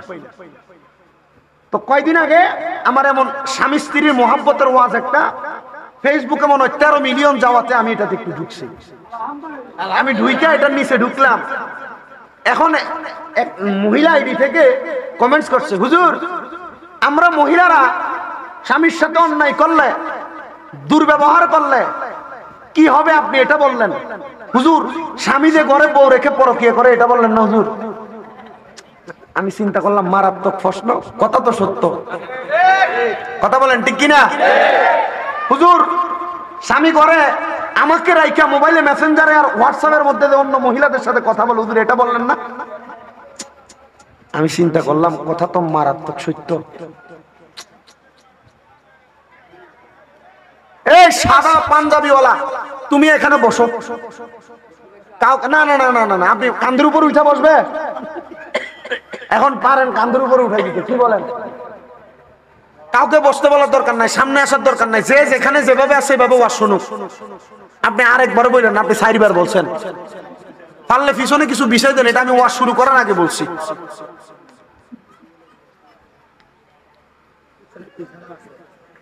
বসতেছে না না? বসলে আপনিও দাঁড়াই থাকেন, অসুবিধা নেই। ওয়াজ যেগুলো শুনতেছে, এর থেকে একটা যদি হেদায়ত হয়, আজকের মাহফিলের টাকা পয়সা যা খরচ হয়েছে সব কামিয়াব। কি বলেন আপনারা? ঠিক আছে না? তো এই মহিলা কমেন্টস করল, হুজুর, মহিলারা স্বামীর সঙ্গে খারাপ ব্যবহার করে, জামাইরারা যে বউ মানে একবার অকথ্য ভাষায় গালি গালাজ করে, এটা কিছু বললেন না? আমি চিন্তা করলাম, তাদের পক্ষে কিছু বলা দরকার। কথায় যুক্তি আছে না নাই? পুরুষরা মহিলাদেরকে গালাগালি করে কিনা? যদি আপনি আপনার বউকে এমন তার আম্মা আব্বার নাম ধরে গালাগালি করেন, এক নাম্বার আপনি জান্নাতের হুর থেকে বঞ্চিত হবেন। দুই নাম্বার, ঘরে স্ত্রী রেখে যদি পরকিয়া করেন, তাহলে আপনি এই পরকিয়ার কারণে জাহান্নামের অতল গহব্বরে পড়বেন। আল্লাহ রসুল বলেছেন, পুরুষরা, তোমরা তোমাদের মহিলাদের সাথে, স্ত্রীদের সাথে খারাপ ব্যবহার করবে না তো করবে না। তোমরা তোমাদের স্ত্রীদের মা বাবার নাম ধরে গালি দিবা না। আর আপনি গালি দেন মুখে জি। না, এখন গালি এখন বলবে না তো ঠিক, কারণ উপরের দিকে থুতু মারলে এটা নিজের গায়ে পড়ে। এখন ঠিক বললে এটা এর উপরে পড়ে স্ত্রীদেরকে মা বাবার নাম তুলে গালি দেয়, কি দেয় না? বর্তমান সমাজে এটা করে কি করে না? আল্লাহর নবী বলেন, আমি কিন্তু আসছি এখানে জান্নাতে হুর থেকে। কথা শুধু এই জায়গাটা মনে রাখবেন। কোথা থেকে আসছি? আল্লাহ তালা জান্নাতে হুর দিবেন। জান্নাতের নিয়ামত বর্ণনায় ছিলাম। তবে মা বোনদের পক্ষে একটু কথা বলে দিয়ে দেয় এটা কিন্তু মহিলাদের ওয়াজ। আল্লাহর নবী রহমাতুল্লিল আলামিন নবী বলেন, দুনিয়ার পুরুষের দলেরা এক নাম্বার তোমরা তোমাদের স্ত্রীদের মা বাবার নাম ধরে গালি দিবা না আর আল্লাহ কেন? আমার নবী বলেন, আমি নবী মহিলাদের বাবা। মুসলিম শরীফ, বাইহাকি শরীফের হাদিস নবী আমার বলে, আমি নবী মহিলাদের বাবা। এজন্য তোমরা তোমাদের মহিলাদেরকে, তোমরা তাদের বাবার নাম ধরে, মায়ের নাম ধরে গালি দিবা না। নবী আমার বলেন, দুই নাম্বার তোমরা তোমাদের স্ত্রীদের মুখের মধ্যে আঘাত করবা না। আর আপনার স্ত্রী ডাউলটা যদি বাদখানার সময় আনতে দেরি হয়, ঠাস করে আপনি তার গালের মধ্যে একটা চটকনা লাগাইয়া দেন। নবী আমার বলে, না রে মুসলমান, না। তোমরা তোমাদের স্ত্রীদের গালের মধ্যে, মুখের মধ্যে আঘাত করবা না। ইয়া রাসূলুল্লাহ, কেন? নবী আমার শিখিয়ে দিচ্ছেন, তোমাদের স্ত্রীরা তোমাদের জন্য সাময়িক সময়ের মেহমান। আমি আল্লাহ তাআলার নবী বললাম, আল্লাহ তাআলা এই মেহমানকে আবার আমার আল্লাহর সফরদতায় নিয়ে যাবেন। জবান খুলে বলেন সুবহানাল্লাহ। রহমতের নবী বলেন, কোন পুরুষ বিবাহ করার পরে যদি সে তার স্ত্রীর সুন্দর ভরণ পোষণ, সুন্দর আচরণ করে, পর্দার মাধ্যমে তার স্ত্রীকে আঁকড়ায় রাখতে পারে, তাহলে পুরুষ জান্নাতে যাওয়ার জন্য তার একটা নেককার স্ত্রী যথেষ্ট। ও আমার, এই আর সাহায্য করেন যুবকেরা, চট্টগ্রামের মুরব্বী বাবাজিরা, আপনাদের সবার পায়ে হাত দিয়ে করজোর আবদার করে যাই, মা বোনদের সঙ্গে খারাপ আচরণ করবেন না। মহিলা মানুষ, আপনারা তো জানেন, আল্লাহ তাআলা আমাদের মা, যিনি হযরতে আদম আলাইহিস সালাতু ওয়াস সালামের স্ত্রী, মা হাওয়া আলাইহিস সালাতু ওয়াস সালামকে আল্লাহ তাআলা আদম নবীর বাম পাথরের বাঁকা হাড্ডি দিয়া বানাইছে। নবী আমার শিখে দেয় যদি তোমরা এদেরকে একবারে সোজা করতে যাও, তাহলে তারা বেশি বাঁকা হয়ে যাবে। আবার যদি এটা বেশি বাঁকা হয়ে যায়, এটা ভেঙে যাবে। এজন্য তোমরা তাদের প্রতি এত কঠোর হয়েও না, আবার তাদেরকে এতটা ছাড়ও দিও না। মুসলমান একটাবার চিন্তা করে দেখেন, আল্লাহর নবী আপনার স্ত্রীদের জন্য কেমন আচরণ করবেন নবী আমার শিখিয়ে দিয়েছেন। এবার আপনারা বলেন, আল্লাহর জান্নাতে যাওয়ার জন্য স্ত্রীদের সঙ্গে সুন্দর এবং ভালো আচরণ করার দরকার আছে না নাই? স্ত্রী ঘরে রাইকাম পরকিয়া বলেন, অন্য নারীর দিকে তাকানো বলেন, আপনার ভাবির সঙ্গে কথা বলা বলেন, অন্য নারীদের সঙ্গে কথা বলা বলেন, এগুলা পরিত্যাগ করবেন। বলে, হুজুর, আমি আমার ভাবির সঙ্গে, বোনের সঙ্গে কথা বলে আমার স্ত্রী দেখতে পারে না। মনে রাখবেন, একটা নারী কোনোদিন তার স্বামীর ভাগটা অন্য কোনো মানুষকে দেয় না। একটা নারী কোনোদিন চায় না তার স্বামীর ভাগটা অন্য কেউ নিয়ে যায়। বলে, হুজুর, আমার স্ত্রী চাইবে তো চাইবে, দূরের কথা। আমার স্ত্রী অন্য কোনো মহিলার নাম তার মুখের মধ্যে শুনতেই পারে না, আমার মুখে শুনতে পারে না। আর শুনবে কেমনে? যখন দেখবেন আপনার মুখের মধ্যে অন্য কোন নারীর নাম শুই না। আপনার বউ রাগান্বিত হয়েছে আপনার বউ সেইটা গেছে। তাহলে মনে করবেন এই বউটা আপনার বেশি ভালোবাসে। কারণ আপনারা ভালোবাসি বিদায়। আপনার মুখের মধ্যে অন্য কোন নারীর নাম আপনার স্ত্রী শুনতে চায় না, আপনাকে ভালোবাসি বিদায়, আপনার মুখের মধ্যে অন্য কোন নারীর প্রশংসা শুনতে চায় না। এই জন্য নবী আমার শিখে দে, তোমরা কখনো তোমাদের স্ত্রীর সঙ্গে খারাপ আচরণ করবে না তো করবে না, এদের সামনে অন্য কোন নারীর প্রশংসা করবে না। ইয়া রাসূলুল্লাহ, ইয়া হাবিবাল্লাহ, কেন কেন কেন? আল্লাহর নবী বলেন, শুধু তাই না, কেন এটা তো রাখলাম আমি আপনাদেরকে কারণও বলে দিলাম। নবী আমার শিখিয়ে দে তোমরা তোমাদের স্ত্রীদেরকে সুন্দর সুন্দর নাম দিয়া ডাকবা। বউয়ের নাম যদি হয় জান্নাত জান্নাত না নাম দিয়া সুন্দর একটা নামও তো দেওয়া যায় সোনা পাখি। জাদুমণি জান পাখি। কথা বলেন না না না কি বলেন? সাথী।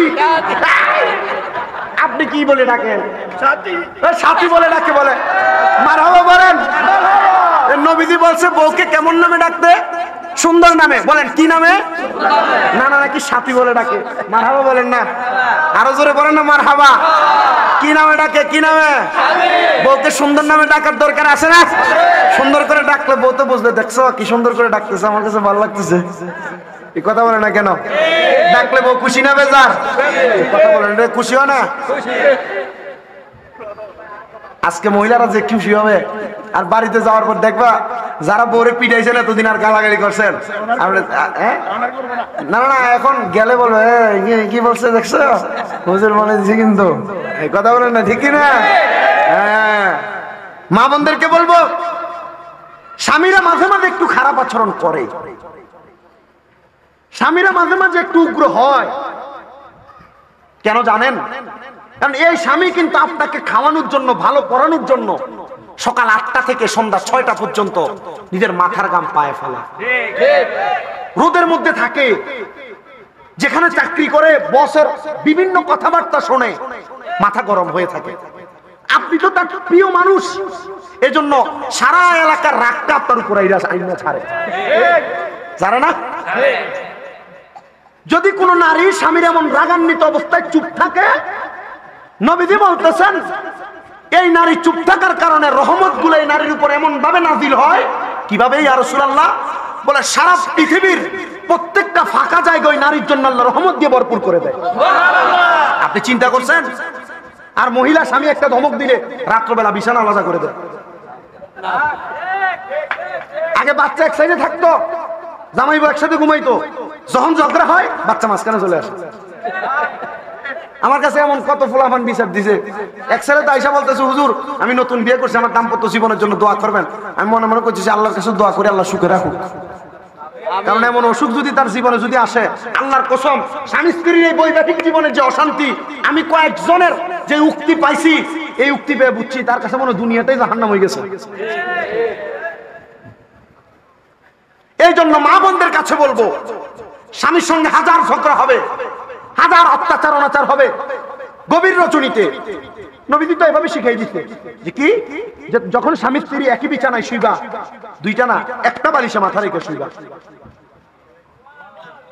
ইসলাম আপনাকে আর কি শিখাইতো? আর কি শিখতে চান ইসলাম থেকে? নবীজি বলছে স্বামী স্ত্রীর বালিশ হবে কয়টা? একটা। ইয়া রাসূলুল্লাহ কেন? বলে বলছে স্বামী স্ত্রী যত একসাথে লেগে থাকবে পৃথিবীর প্রত্যেকটি খালি জায়গা আল্লাহ এই স্বামী স্ত্রীর জন্য রহমত দিয়ে ভরপুর করে দিবে।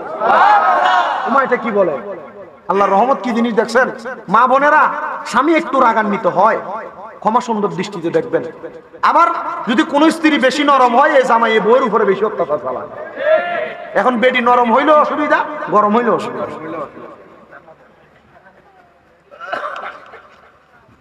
আপনি চিন্তা করে দেখছেন কি একটা খারাপ অবস্থার মধ্যে মানুষ পড়ে আছে। আমার কুমিল্লাতে এক মোটর সাইকেলের মিস্ত্রি। আপনাদের কষ্ট কথা বলতে কষ্ট হইতেছে কোনো? সাবধান বাবা, আমার কথা থেকে মনে কষ্ট নিবেন না কথা থেকে আমি বলছি যে আমার কোনো কিছু ভুল হয়, এই ভুলটাকে আপনারা ক্ষমা করে দিবেন, যেটা থেকে মনে হয় শিক্ষা গ্রহণ করবেন, এই শিক্ষাটা নিয়ে বাড়িতে যাবেন। কারণ আমি মানুষ, আমি ফেরস্তা না, আমার ভুল হবে। তবে যেটা সত্য, যেটা মানার জন্য যথেষ্ট আপনি এটা মানবেন, ইনশাআল্লাহ। আল্লাহ কবুল করেন, আমিন করেন। এ মোটর সাইকেলের মিস্ত্রি আর কি। তা আমি একদিন তার কাছে গেলাম টাকা চাওয়ার জন্য। রে ভাই, তোর কাছে কিছু টাকা পাও না? তুই আমার টাকাটা দে। হুজুর হুজুর, আমি এখন টাকাটুকু দিতে পারতাম না, জানতো? কিরে, তুই তো আমার সাথে এভাবে কোনোদিন ব্যবহার করে না? তার দোকানের কারিগর এসে বলতেছে, হুজুর মদ খাইছে। কি খাইছে? আমি চিন্তা করলাম মারাত্মক বিষয়, মদ খাওয়া ভালো জিনিস। দুইটা ঘটনা বলব, এটা থেকে শিক্ষা নিবেন। পারবেন না ইনশাল্লাহ? এ ওয়াজ লাগবে, মনে হইতেছে? যদি বলে যে ওয়াজ তো করে নাই, কিচ্ছা কাহিনী বলে চলে গেছে, মানবেন এই কথা? এ ওয়াজ থেকে শিক্ষা নেওয়া যায় না? আমি এলেম শূন্য মানুষ, যা বলতেছি এটা থেকে যা পারেন একটু শিক্ষা নিয়েন। আমি আর তার সাথে তখন আর কথা বলি নাই পরের দিন দিনের সাড়ে তিনটার সময় কথা বলছি। তারা এসে গেলাম রে তুই কি কালকে মদ খাইছিলি? এ মাথাটা এভাবে নিচে করে রাখছে। আমি বুঝলাম কথা সত্য। কথা কি? আমি অন্য দিনের মতো তার সাথে আর গরম হই নাই। তারা এক মোটরসাইকেল থেকে নাইমা তারা টান দিয়ে বুকি নিয়ে গেছে। কারণ কি? হুজুর বললেন না। কে জানি বলছিল, অল্প বয়সে বিয়ে করতাম, হুজুর। হুজুর অশান্তি হুজুর। কারণ কি? আমি জানি তার জীবনের অশান্তির মূল কারণ হলো তার বউ। কারণ তার উপরে তার বউ একটু বেশি খবরদারি করে। আল্লাহ নবী হাদিস শরীফে বলছে যে ঘরের মধ্যে স্ত্রী খবরদারি করে, এই ঘর জাহান্নাম হওয়ার জন্য আর কিছু লাগে না, জাহান্নাম হয়ে গেছে। বুঝতে পারলাম। আমার দাখিল লেভেলের সবচাইতে ভালো বন্ধু বিয়ে করছে। হঠাৎ একদিন কুমিল্লা শহরের চকবাজার আমির দিঘির পাশে দেখতে দিতে হাঁটতেছে। হাতটা এভাবে নিজের শরীরের সাথে থাপড়াইতেছে আর ডান হাত দিয়ে সিগারেট টানতেছে আমি তার সিগারেট শেষ হওয়া পর্যন্ত অনেক দূর থেকে তারা ফলো করছে। করে আমি তার সামনে আগাইলাম। দোস্ত, তুই তো কখনো এগুলো মুখে নেওয়ার কথাই না। কারণ কি? সিগারেট কেন মুখে নিলি? বলতেছে, দোস্ত বিয়ে করছি তিন মাস। আচ্ছা। বুঝি নাই যে স্ত্রী এত অধিকার খাটাবে আর তার এই কথার কারণে আমি এত মানসিক টেনশনের প্রেশার নেব আমি দুইটা ঘটনা থেকে এতটুকু বুঝলাম, স্ত্রী যদি কখনো কোনো স্বামীকে প্রেশার ক্রিয়েট করে তার উপরে, কোন অত্যাচার, অনিচার বা একটু কটু কথা বলে, তখন ওই ব্যক্তিটা, ওই স্বামীটা নেশার ভিতরে জড়িত হয় না হয় সিগারেট খায়, নচেত কোনো বাজে কাজে জড়িত হয়ে যায়। জন্য মা বোনেরা, আপনারা যারা শুনছেন, আপনাদেরকে বলব, আপনার স্বামী যদি কোনো পরকিয়া করে, অবাধ মেলামেশা করে, নেশা করে, এটার জন্য সর্বপ্রথম আপনি অন্য কাউকে দায়ী না করে নিজেকে আগে দায়ী করেন। কি? আপনি দেখবেন আপনার স্বামীর কোনো খেদমতে আপনি ত্রুটি রাখছেন কিনা? আপনার স্বামীর কোনো কথায় আপনি অবাধ্য হয়েছেন কিনা? যদি আপনি আপনার স্বামীর কোনো কথার অবাধ্য হন, স্বামীর কোনো খেদমতের ত্রুটি রাখেন, তাহলে আপনার স্বামী আপনার দিক থেকে মুখ ফিরিয়ে নেবে। একটা পুরুষকে সুন্দর এবং সহজ পথে পরিচালনা করার মূল মাস্টার হচ্ছেন তার স্ত্রী। কথা কি বুঝতে পারছেন? আল্লাহর বস্তে এই স্বাধীন সোনার বাংলাদেশে ডিভোর্সের সংখ্যা এত বেশি। আমার উকিল, অনেক ভাইরা মাঝে মাঝে কথা হইলে বলে, হুজুর বিশ্বাস করেন অনেক মহিলারা একই মহিলার ছয়টা ডিভোর্সের কাজ আমি করলাম। জিজ্ঞাসা করলাম, কারণ কি? বলছে, হুজুর, এই মহিলার ব্যবসাই হলো ডিভোর্সের ব্যবসা। কি করে? পুরুষদের সঙ্গে, ছেলেদের সঙ্গে মোবাইলে বিভিন্ন মেসেঞ্জার, বিভিন্ন হোয়াটসঅ্যাপের মাধ্যমে প্রেমের সম্পর্ক করে, বিবাহ করে, চার লাখ, পাঁচ লাখ টাকা কাবিন করে। হুজুর, এটা করার পর এই ছেলেকে মানসিকভাবে প্রেশার ক্রিয়েট করে এই ছেলেটাকে বিবাহ থেকে আলাদা হয়। তো চার লাখ টাকা হইলে হুজুর, সর্বনিম্ন তিন লাখ টাকা দিয়ে হলো ছেলে। এই মানসিক অত্যাচার থেকে বাঁচার জন্য সে উদ্ধার হয়ে আসে। আল্লাহ তালার কাছে আমরা ফরিয়াদ জানাই। আল্লাহ তালা এমন বাজে কাজ থেকে হেফাজত করে সুন্দর উত্তম স্ত্রীর মাধ্যমে সমাজ পরিচালনা করার প্রত্যেককে নিজের ঘর পরিচালনা করার তৌফিক দান করুন। আর জোরে পড়ে না আমি তাহলে যারা ভালো পুরুষ যারা ভালো জান্নাতি মানুষ তাদেরকে আল্লাহ তারা জান্নাতে কমসে কম কয়টা বউ দিবেন? মাশাল্লাহ কয়টা? জোরে বলেন কয়টা? নবীজি যখন এমন বর্ণনা করলেন, আনাস ইবনে মালিক রাদিয়াল্লাহু তাআলা হাদিস বর্ণনা করে বলেন, আল্লাহর নবীজির দরবারের মধ্যে উস্তুনে আহাদা আরেকটু সুন্দর করে বলে দেই, উস্তুনে আহাদা। আপনারা এতদিন উস্তুনে হান্নানার নাম শুনেছেন।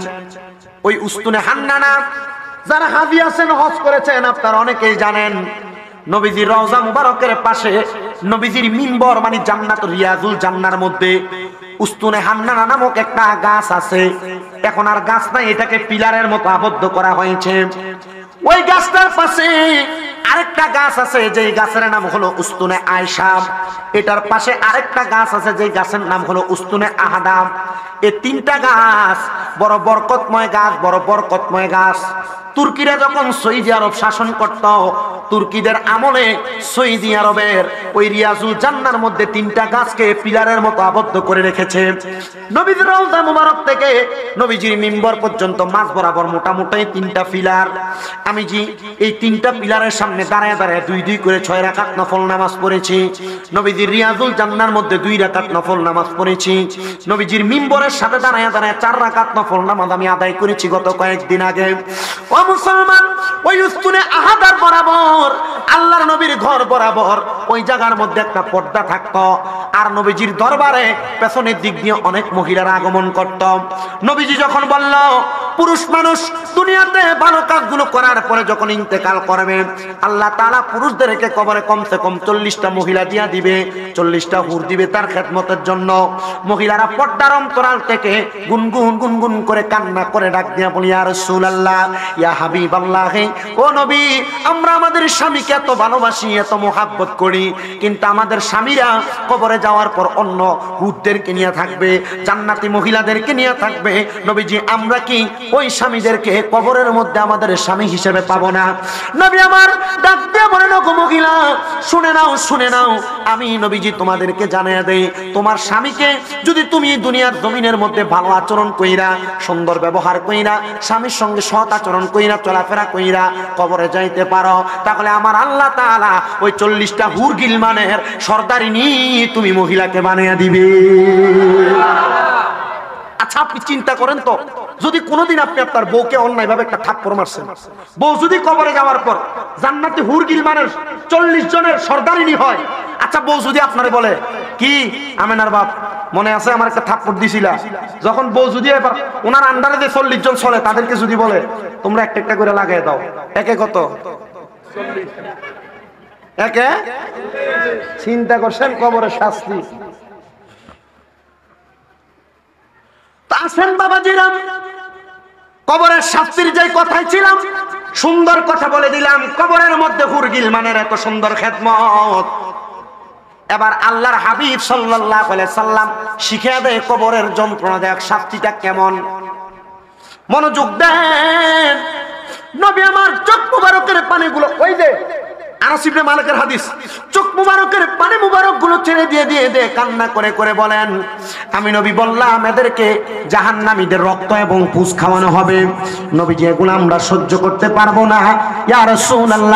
এগুলো আমরা সহ্য করতে পারব না। নবী আমার বলতেছে, সব সময় তোমরা দোয়ার মধ্যে শরীক হইয়া তোমরা বলবা ইহদিনাস সিরাতাল মুস্তাকিম, সহজ সরল পথ, সঠিক পথ, হেদায়েতের পথ আল্লাহর কাছে কামনা করবা। এবার আপনারা বলেন জাহান জাহান্নামের যন্ত্রণাদায়ক শাস্তি থেকে বাঁচার জন্য, আল্লাহ জান্নাত পাওয়ার জন্য আমরা সবাই সিরাতাল মুস্তাকিম, সহজ সরল, সুন্দর পথে চলাফেরা করার দরকার আছে না নাই? ইমাম গাজ্জালির জীবনী থেকে সুন্দর একটা ঘটনা আমি আপনাদের কাছে নোট করে যদি বলি, আপনারা বুঝতে পারবেন। ইমাম গাজ্জালি রহমতুল্লাহ আলাই বলেন, একদিন আমি রাত্রবেলা যখন আমার ঘরের মধ্যে ঘুমায় গেলাম, ঘুমানোর পরে হঠাৎ করে আমি ইমাম গাজ্জালি স্বপ্নের মধ্যে দেখলাম, কে জানি আইসা, আমি ইমাম গাজ্জালির চোখের সামনে একজন ব্যক্তির গলার মধ্যে চাপ দিয়ে ধরছেন, আর ওই ব্যক্তির নাক এবং চোখগুলা মুখগুলা দিয়ে রক্ত বের হইতেছে। আমি ইমাম গাজ্জালি ভয়ে কথা বলতে পারলাম না। ও ইমাম গাছালি আপনি যে কথা বলতে পারলেন না, তাহলে পরবর্তী ঘটনাটা আপনি আমাদের কাছে বর্ণনা করেন। তিনি বলতেছেন, আমি দেখলাম তার নাক মুখ দিয়ে রক্ত পড়তেছে। এমন টাইমে আমি দেখলাম ওই ব্যক্তি, ওই ব্যক্তিটার গলার মধ্যে ধইরা সামনের দিকে চেত্রে টাইনা টাইনা নিয়ে যাইতেছে। আমি ইমাম গাছালি তার পেছনে পেছনে হাঁটতে লাগলাম। আমি দেখলাম ওই ব্যক্তিটাকে টাইনা নিয়ে একটা গর্ত, একটা ময়লা আবর্জনা স্তূপের মধ্যে ফেলে রাখা হয়েছে। আমি ইমাম গাজ্জালি, তার চোখের সামনে দাঁড়াইতে পারলাম না। তার চোখের পাওয়ার এত, আমি বুঝতে পারলাম এগুলার অন্য কেউ না, কারণ নবীর হাদিসের মধ্যে বর্ণনা দিছে আজাবের ফেরেস্তা যারা হবে, তাদের চোখ এত ভয়ঙ্কর হবে, তাদের চক্ষুগুলা দেখলে মানুষের রক্তগুলা টাস টাস করে ছিঁড়ে যাবে। তখন আমি বুঝতে পারলাম, মনে হয় আজাবের ফেরেস্তার চোখগুলা দেখে বান্দার নাকে মুখি দিয়ে রক্ত বের হয়ে গেছে। কারণ বান্দার শাহরকগুলা টাস টাস করে ছিঁড়ে গেছে, বান্দার রক্ত চলাচল করতে পারে নাই। তখন বান্দার নাক এবং মুখ দিয়া চোখ দিয়া রক্ত বের হয়ে গেছে। আমি ইমাম গাজ্জালি তার সামনে গেলাম, তারা প্রশ্ন করলাম, হে আজাবের ফেরেস্তা এই ব্যক্তিকে কেন এমন শাস্তি দেওয়া হচ্ছে? আজাবের ফেরেস্তা আমি ইমাম গাজ্জালিকে বলেছে, আপনি এখন না এখন না। আরও কিছুক্ষণ তার আজাব দেখতে থাকেন। তখন দেখা যাচ্ছে, ওই ব্যক্তিকে দুনিয়ার জমিনের মধ্যে এমন ভাবে হেসানো হচ্ছে, টানা হচ্ছে। তাকে টাইনা টাইনা ময়লা স্তূপের মধ্যে ফেলার পরে আবার ময়লা যুক্ত শরীরটাকে নিয়ে ওই ফেরেস্তাটা উপরের দিকে উঠে যাচ্ছে। আর অন্য ফেরেস্তারা ওই লাশটার দিকে তাকায় তাকায় নাক ছিটকাইতেছে। অন্য ফেরেস্তারা লাশটার দিকে তাকায় তাকায় নাক ছিটকাইতেছে। বলতেছে, আরে কেন কেন তোমরা এই বান্দাটার শরীরটার দিকে তাকায় তাকায় তোমরা নাক ছিটকাইতেছ? বলে, অন্য কোনো কারণ না। বান্দা এত গুণা করেছে, এত গুণা করেছে। গুনার কারণে তার শরীরের মধ্যে দুর্গন্ধ তৈরি হয়ে গিয়েছে। বান্দার দুর্গন্ধ আমরা ফেরেস্তারা সহ্য করতে পারতেছি না। এই জন্য তার থেকে আমরা মুখ নাক ফিরে নিতেছি, ছিটকাইতেছি। ও মুসলমান, ইমাম গাজ্জালির এই জীবনী পড়তে যে আমি দেখলাম, এটার মূল কথা, শেষ কথা, সার কথা তিনি বর্ণনা করেছে। যদি কেউ দুনিয়ার জমিনে গুণা করতে করতে তার হাতটারে, তার পাওটারে, তার শরীরটারে সাজায়, তাহলে তার শরীরটা দুর্গন্ধময় হয়ে যায়। ফেরেস্তা রুহু নেওয়ার পরে ফেরেস্তারা পর্যন্ত আল্লাহর আসমানের মধ্যে এই বান্দাটার রুহুটাকে, দেহটাকে গ্রহণ করে না। কারণ কি? কারণ বান্দা হাত দিয়ে গুনার কাজ করছে, বান্দা পা দিয়া গুনার দিকে গেছে, বান্দা মুখ দিয়ে গুনার কথা বলছে, বান্দা চোখ দিয়ে গুনার দিকে তাকাইছে। বান্দা বান্দা তার পুরাটা অঙ্গ দিয়া, দেহ দিয়া গুনার কাজ করছে। ইয়া রাসূলুল্লাহ, ইয়া হাবিবাল্লাহ, আপনার কাছে জানতে চাই, কেমনে কেমনে বান্দা চোখ দিয়ে গুনার কাজ করে, মুখ দিয়ে গুনার কাজ করে, হাত দিয়ে গুনার কাজ করে, পা দিয়ে গুনার কাজ করে? আপনারা বলেন সাহাবাই কারাম যেমন নবীর কাছ থেকে জানছে, আমরা সবাই আজকের এই একসাথ নগরের মাহফিল থেকে গুনার কাজের প্রত্যেকটা ধরন জানতে চাই কি চাই না। আল্লাহ সবাইকে চাই না আমলে জিন্দিগিতে বাস্তবায়ন করার মতো তৌফিক দান করেন, জোরে পড়েন আমি সবাই দরুদ শরীফ পড়েন সালাতুলিয়া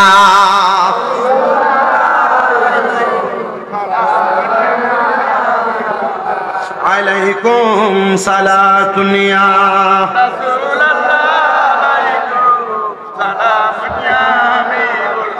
জামালে আশকা বাসদ মুহাম্মদ খেয়ালে ও বড়া বাসদ আহম্মদ সালাতুনিয়া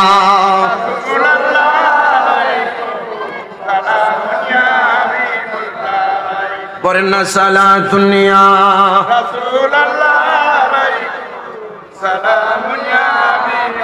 মদিনার মাটি যদি হইতাম নূর নবীকে বুকের মাঝে রাখিতাম সালাতুন।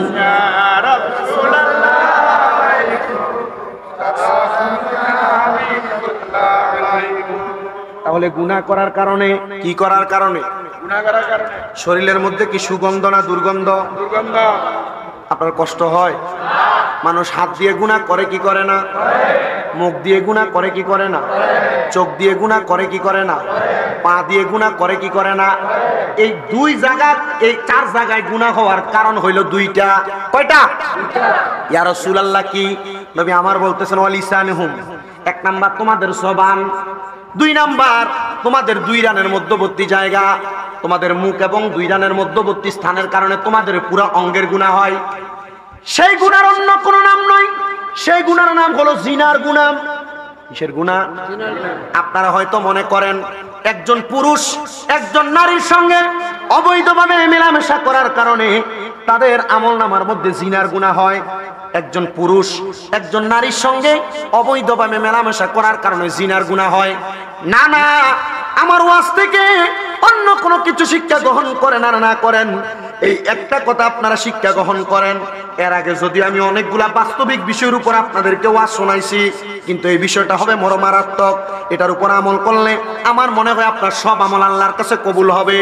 ও বন্ধু আপনার দুই রানের মধ্যবর্তী স্থানের কারণে আপনি যখন কোনো মহিলার সঙ্গে মেলামেশা করার কারণে আপনার জিনার গুণা হয় দমি আমার শিখায় দেয়, না রে না, কোনো পুরুষ যখন কোনো মেয়ের দিকে তাকানোর জন্য, মেয়েকে স্পর্শ করার জন্য, অবৈধভাবে মেলামেশা করার জন্য, তার পা দিয়া যখন সে সামনের দিকে এক কদম অগ্রসর হয়, তখন তার পায়ের জিনা হয়। কোথার জিনা হয়? পায়ের জিনা হয়। যখন কোনো পুরুষ কোনো অবৈধ নারীর দিকে অন্য কোনো নারীর দিকে তার চোখ দিয়া অবৈধভাবে তাকায় বা তার চোখ দিয়া নারীর সৌন্দর্য দেখার জন্য তাকায়, তখন তার চোখের জিনা হয়। কোনো পুরুষ মানুষ তার কোনো অবৈধ গায়রে মাহারামের সাথে তার জবান দিয়া যদি কথা বলে, তাহলে তার মুখের জিনা হয়। কোনো পুরুষ মানুষ কোনো অবৈধ নারী গায়রে মাহারাম নারীর প্রতি যদি তার হাত দিয়া, তার হাত দিয়া শোয়, তাহলে তার হাতের গুণা হয়। মনে করবেন না, নারীর সঙ্গে অবাধ মেলামেশা করলে শুধু আপনার জিনা হয়। কোনো নারীর দিকে এই নারী আপনার পরিচিত না, গায়রে মাহারাম না। যদি আপনি নারীর দিকে আপনার চোখ দিয়েও তাকান, তাহলে আপনার গুণা হবে। বলে, হুজুর, এই এরশাদনগর বাজার, চন্দননগর বাজার এবং এই শিল্প এলাকার মধ্যে কত নারী তো গার্মেন্টস কোম্পানিতে চাকরি করে। আমি তাকাই আর না তাকাই, আমি রাস্তা দিয়ে হাঁটার সময় তার দিকে আমার নজর পড়ে যায়। আমায় আপনার কাছে এতটুকু দাত্ত আহ্বান করব, আপনার যদিও তার দিকে নজর পড়ে যায়।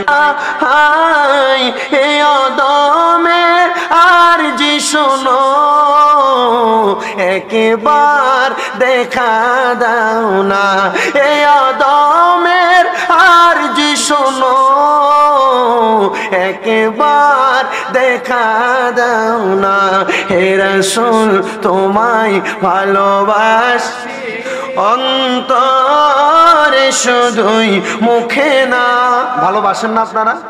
একটু মহাব্বতে পড়েন না। হে রসুল, তোমায় ভালোবাসি। অন্তরে শুধুই মুখে না। জন্না তেরা সাই নয় হে রসুল, জাহান্নাম কেউ ডরি না। জান্না তেরা সাই নয় হে রসুল, জাহান্নাম কেউ ডরি না। মুসলমান, আমার নবী শিখিয়ে দিছেন, তাহলে কোনো মহিলার দিকে, কোনো অপরিচিত মহিলার দিকে, এক কথায় কোনো বেগানা নারীর দিকে আপনি আপনার চোখ দিয়ে যদি অবাকভাবে তাকান, তাহলে আপনার চোখের জিনা হবে। হাত দিয়ে যদি ধরে ফেলেন, আপনার হাতের জিনা হবে। মুখ দিয়ে কথা বললে আপনার মুখ রং নাম্বারে কথা আসেনি? হ্যাঁ? বলতেছে বেশি বলে।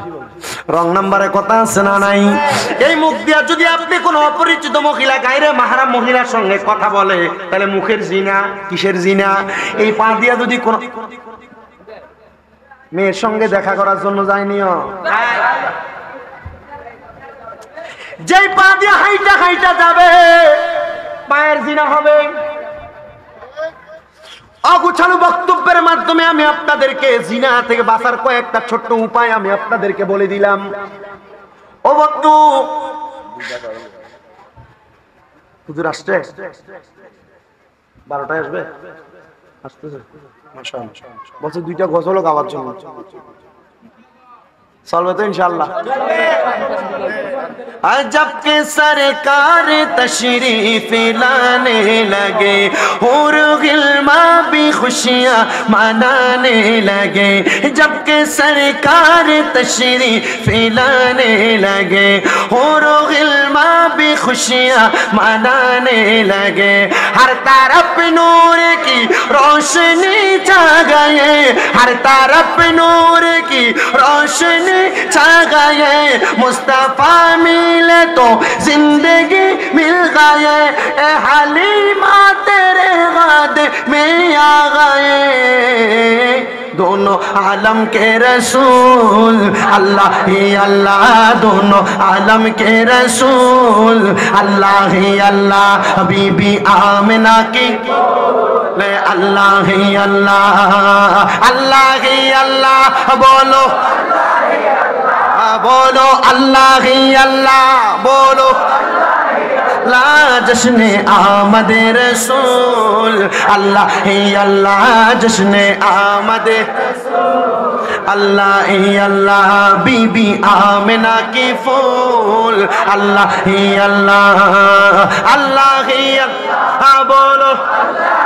اللہ اللہ ہی اللہ، بولو۔ اللہ لا جشن آمد رسول لا بی بی آمنا کی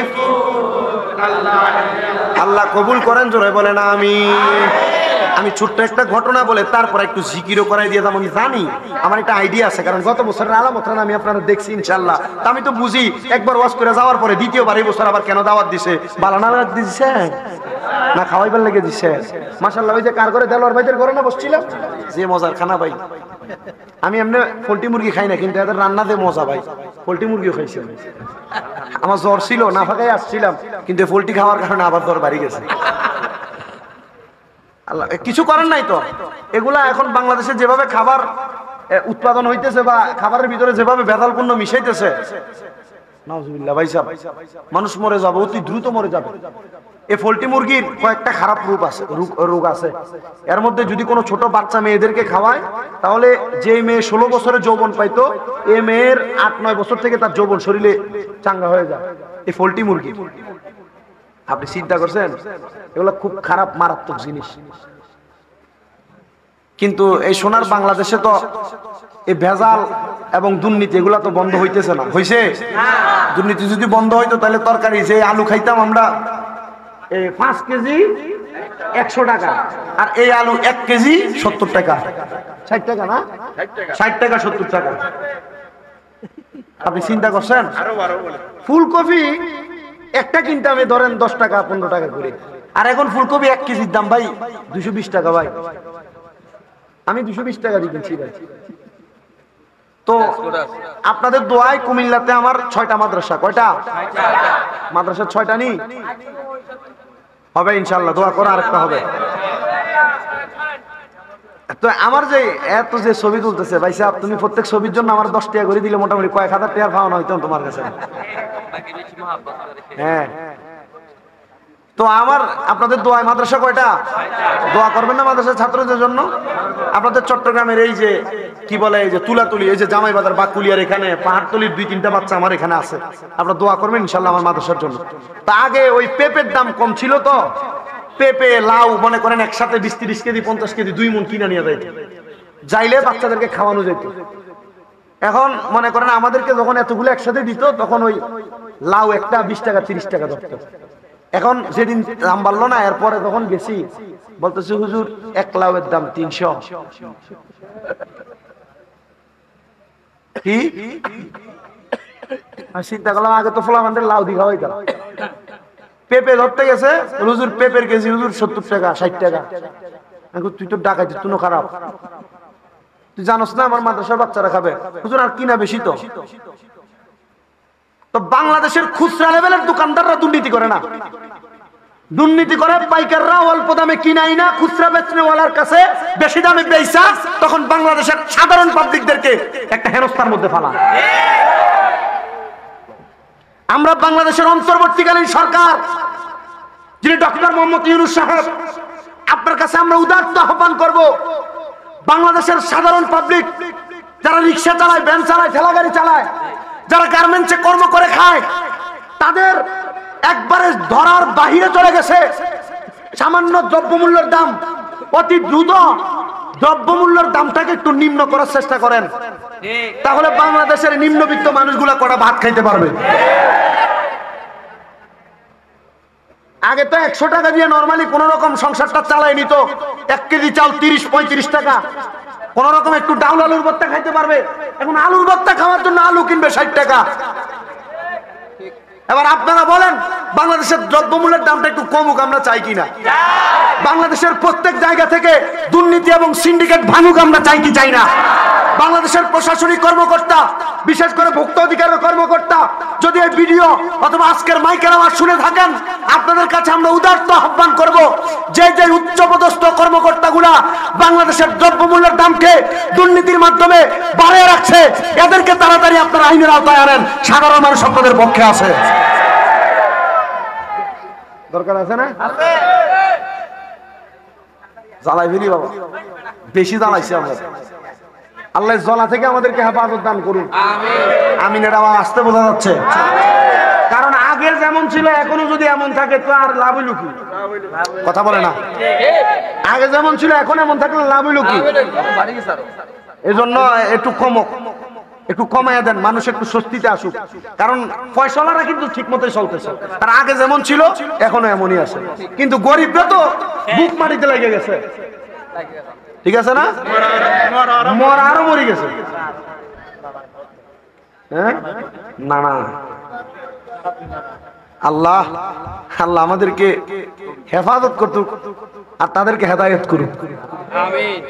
আপনি চিন্তা করছেন মুরব্বী? একটা শয়তানি চলতেছে। আল্লাহ আল্লাহ আল্লাহ আল্লাহ। যেই কথার মধ্যে ছিলাম,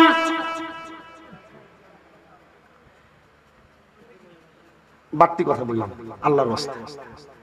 যেই কথার মধ্যে ছিলাম ইমাম গাজ্জালির, উনি বলেন, আমি পরদিন সকাল বেলা আমার মসজিদের মধ্যে আসলাম।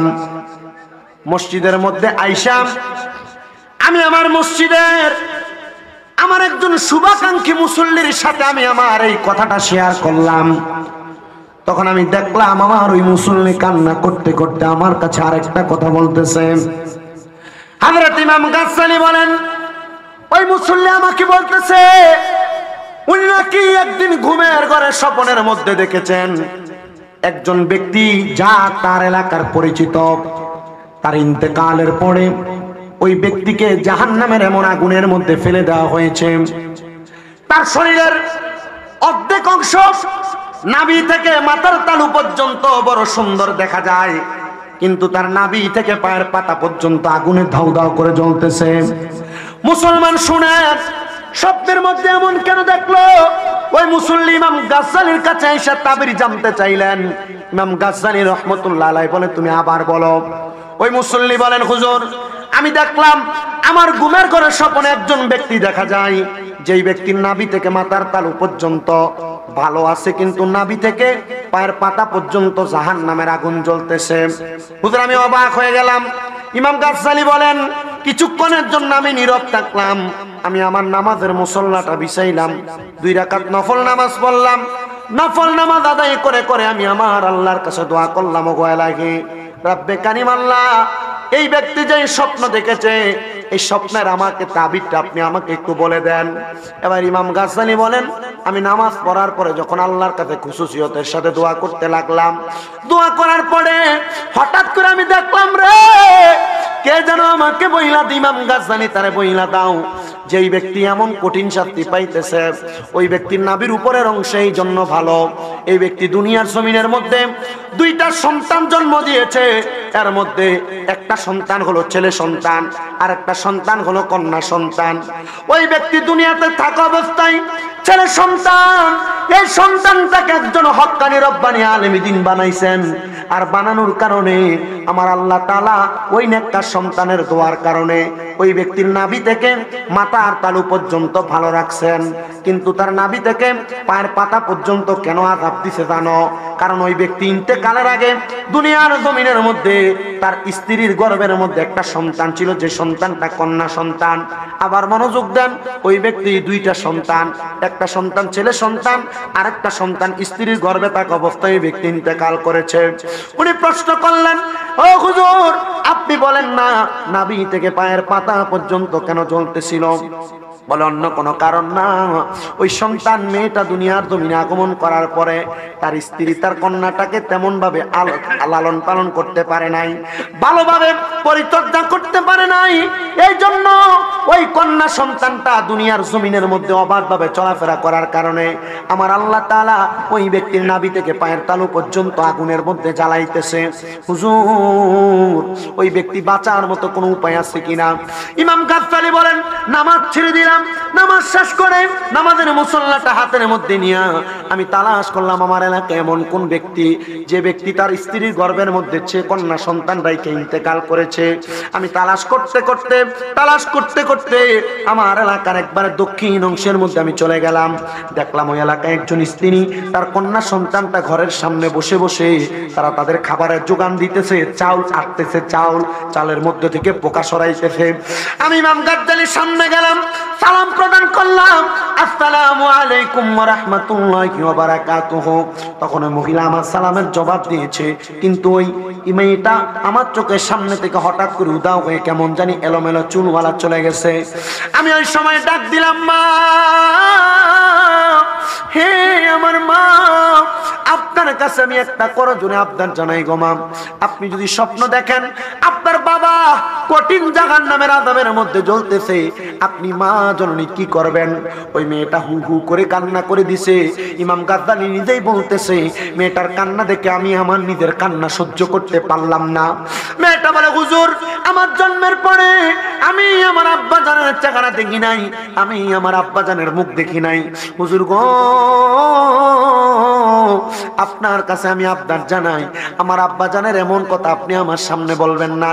কারণ আমি তো আমার আব্বা জানকে দেখি নাই, আমার আম্মা জান আমার আব্বার ব্যাপারে ভালো ভালো কথা বলেছে, আমার ভাই ভালো ভালো কথা বলেছে, কিন্তু হুজুর, আমার আব্বা জান ইন্তেকাল করার পর থেকে আমি আমার আব্বা জানকে দেখার জন্য অনেক শখ আমি দেখি নাই। ইমাম গাজ্জালি বলে, মা, আমার আল্লাহ তালা তুমি মাইয়ার অবাক চলাফেরা করার কারণে তোমার আব্বার কবর আঘাত দিছে। মেয়েটা ডাক দেয়া কই, হুজুর?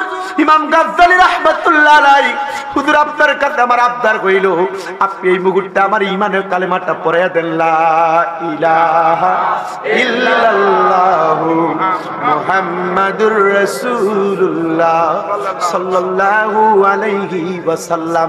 আপনারা বলেন, তওবা করে এটা ভালো লক্ষণ না খারাপ লক্ষণ? আসতে বলছেন ভালো লক্ষণ না খারাপ লক্ষণ? আরেকবার বলেন আসতে বলেন না বলে বলেন তওবা করা ভালো লক্ষণ না খারাপ লক্ষণ? আমি আপনাদের সবার কাছে আবদার জানাইবো আপনারা যদি পারেন দৈনিক বারবার তওবা করবেন আর যদি বারবার না পারেন ঘুমাইতে যাওয়ার আগে অজু কইরা আল্লাহ তাআলার দরবারে তওবা করে ঘুমাইবেন তওবা করে ঘুমাইবেন। হুজুর কেন জানেন? কারণ আপনি যখন তওবা করে ঘুমাইবেন আপনার পূর্বের গুনাহগুলো আল্লাহ তওবার কারণে মাফ করে দিবে। আর যদি তওবা না করেন, আপনি ইন্তেকাল করার পরে আল্লাহ তাআলা পূর্বে ওই তো গুনাহগুলোর জন্য আপনাকে শাস্তি প্রদান করবে। মেয়েটা তওবা করতেছে। ইমাম গাজদালি বলে, মা, তোমার বয়স বর্ণনা করো। মেয়েটা বলে, আমার বয়স ষোলো বছর বয়স। ইমাম গাজদানি রহমতুল্লাহ আলাই আমার ষোলো বছর বয়সের মাধ্যমে আমি কোনোদিন আমার আব্বাকে দেখি নাই। উনি বলেন, এখন থেকে পাঁচ ওয়াক্ত নামাজ পড়বা পর্দার সহিত তুমি তোমার জীবন চালাইবা। পর্দার অন্তরালের মা বোনেরা এই ওয়াজ থেকে একটা মাসালা সাবেত করে আপনারা শিক্ষা নেন।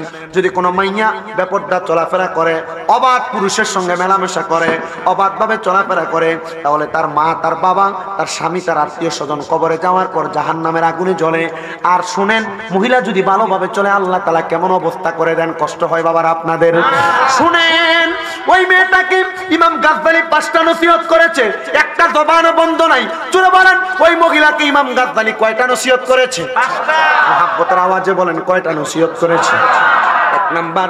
ইমাম গাজদালি বলেন, মা, তুমি সর্বপ্রথম পদ্মা করবাম হুজুর মেনে নিলাম, সর্বপ্রথম আমি, আপনি আমাকে পদ্মার কথা বললেন। হে মা, দুই নাম্বার, যখনই তুমি কোনো খাবার খাইবা, ওই খাবারটা হালাল খাবার ভক্ষণ করবা, দুই নাম্বার। তিন নাম্বার, মা, শোনো, কোনোদিন পাঁচ ওয়াক্ত নামাজ ছাড়বা না। পাঁচ ওয়াক্ত নামাজ ছাড়বা না। ওই মহিলা বলে, আমার তিনটা ওসিয়ত আমি শুনলাম, তিনটা নসিহত শুনলাম। চার নাম্বার আমাকে বলল আমি যেন আমার আব্বার জন্য ক্ষমা প্রার্থনা করি। ক্ষমা প্রার্থনা করি, ক্ষমা প্রার্থনা করি। পাঁচ নাম্বার, আমাকে বলেছেন বেশি বেশি নফল ইবাদত করার জন্য। ওই মেয়েটা বলে, আমি ইমাম গাছালিকে প্রশ্ন করলাম, হুজুর, ইমাম গাছালি রহমতুল্লাহ আলাই আপনি বলেন না, এই পাঁচটা কাজ করলে কি? আমি ষোলো বছর আগে আমার আব্বাজানকে যে হারাইছি, আমি কি আমার আব্বাজানকে দেখতে পাবো নাকি? ইমাম গাজ্জালি রহমতুল্লাহ আলাই বলেন, হা হা হা, তুমি যদি চেষ্টা করো, আমার আল্লাহ তাআলার কাছে সব কিছু সম্ভব। আমার আল্লাহর কাছে কোনো কিছু অসম্ভব আছে নাকি বাবা? না না না, অসম্ভব না। এমন অনেক আল্লাহওয়ালা ব্যক্তিরা আছে, যারা চোখটা বন্ধ করলে কবরের মধ্যে মানুষের অবস্থা সম্পর্কে বলতে পারে। বলে, হুজুর, বর্তমানে আছে কিনা জানি না। আমি বলব, বর্তমানে আছে না নয় আপনি জানার দরকার নাই।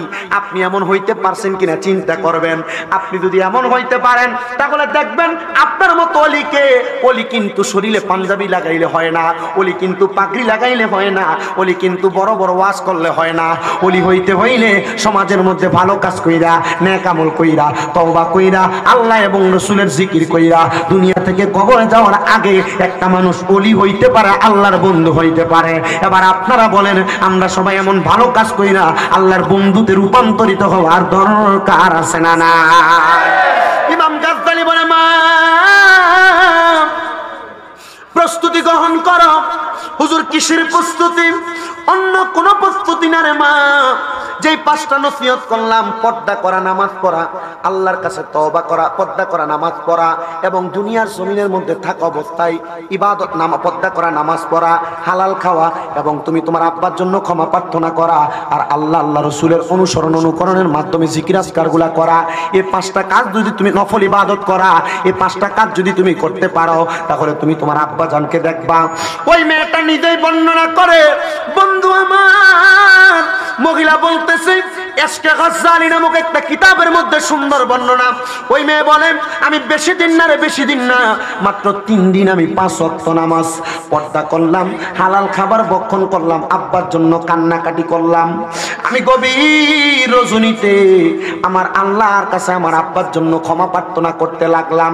হঠাৎ করে আমি মহিলা দেখতে পাইলাম রে আমি দেখলাম, কে জানি একটা আমার ঘরের মধ্যে চলাফেরা করতেছি। আমি আমার ঘরের মধ্যে চলাফেরার আওয়াজ পাইয়া, আমি শ্রদ্ধা থেকে মাথা উঠাইয়া চক্ষু খুলতে পারলাম না। ওনার শরীরের নূরের তাজাল্লির আলোর কারণে হঠাৎ করে আমি ওনাকে জিজ্ঞাসা করলাম, মান আংটা, আপনি কি আপনার পরিচয় কি? উনি আমাকে কোনো জবাব দেয় না।